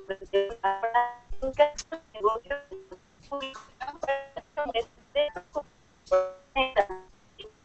el año pasado 25 dejaron de iluminar monumentos en la iniciativa este año Guadalajara, Jalisco y México, donde se realizaron actividades educativas y programas de intercambio de por pasadoras y se apagaron 105 inmuebles, informó para el Sistema Nacional de Noticiarios Diana Cruz.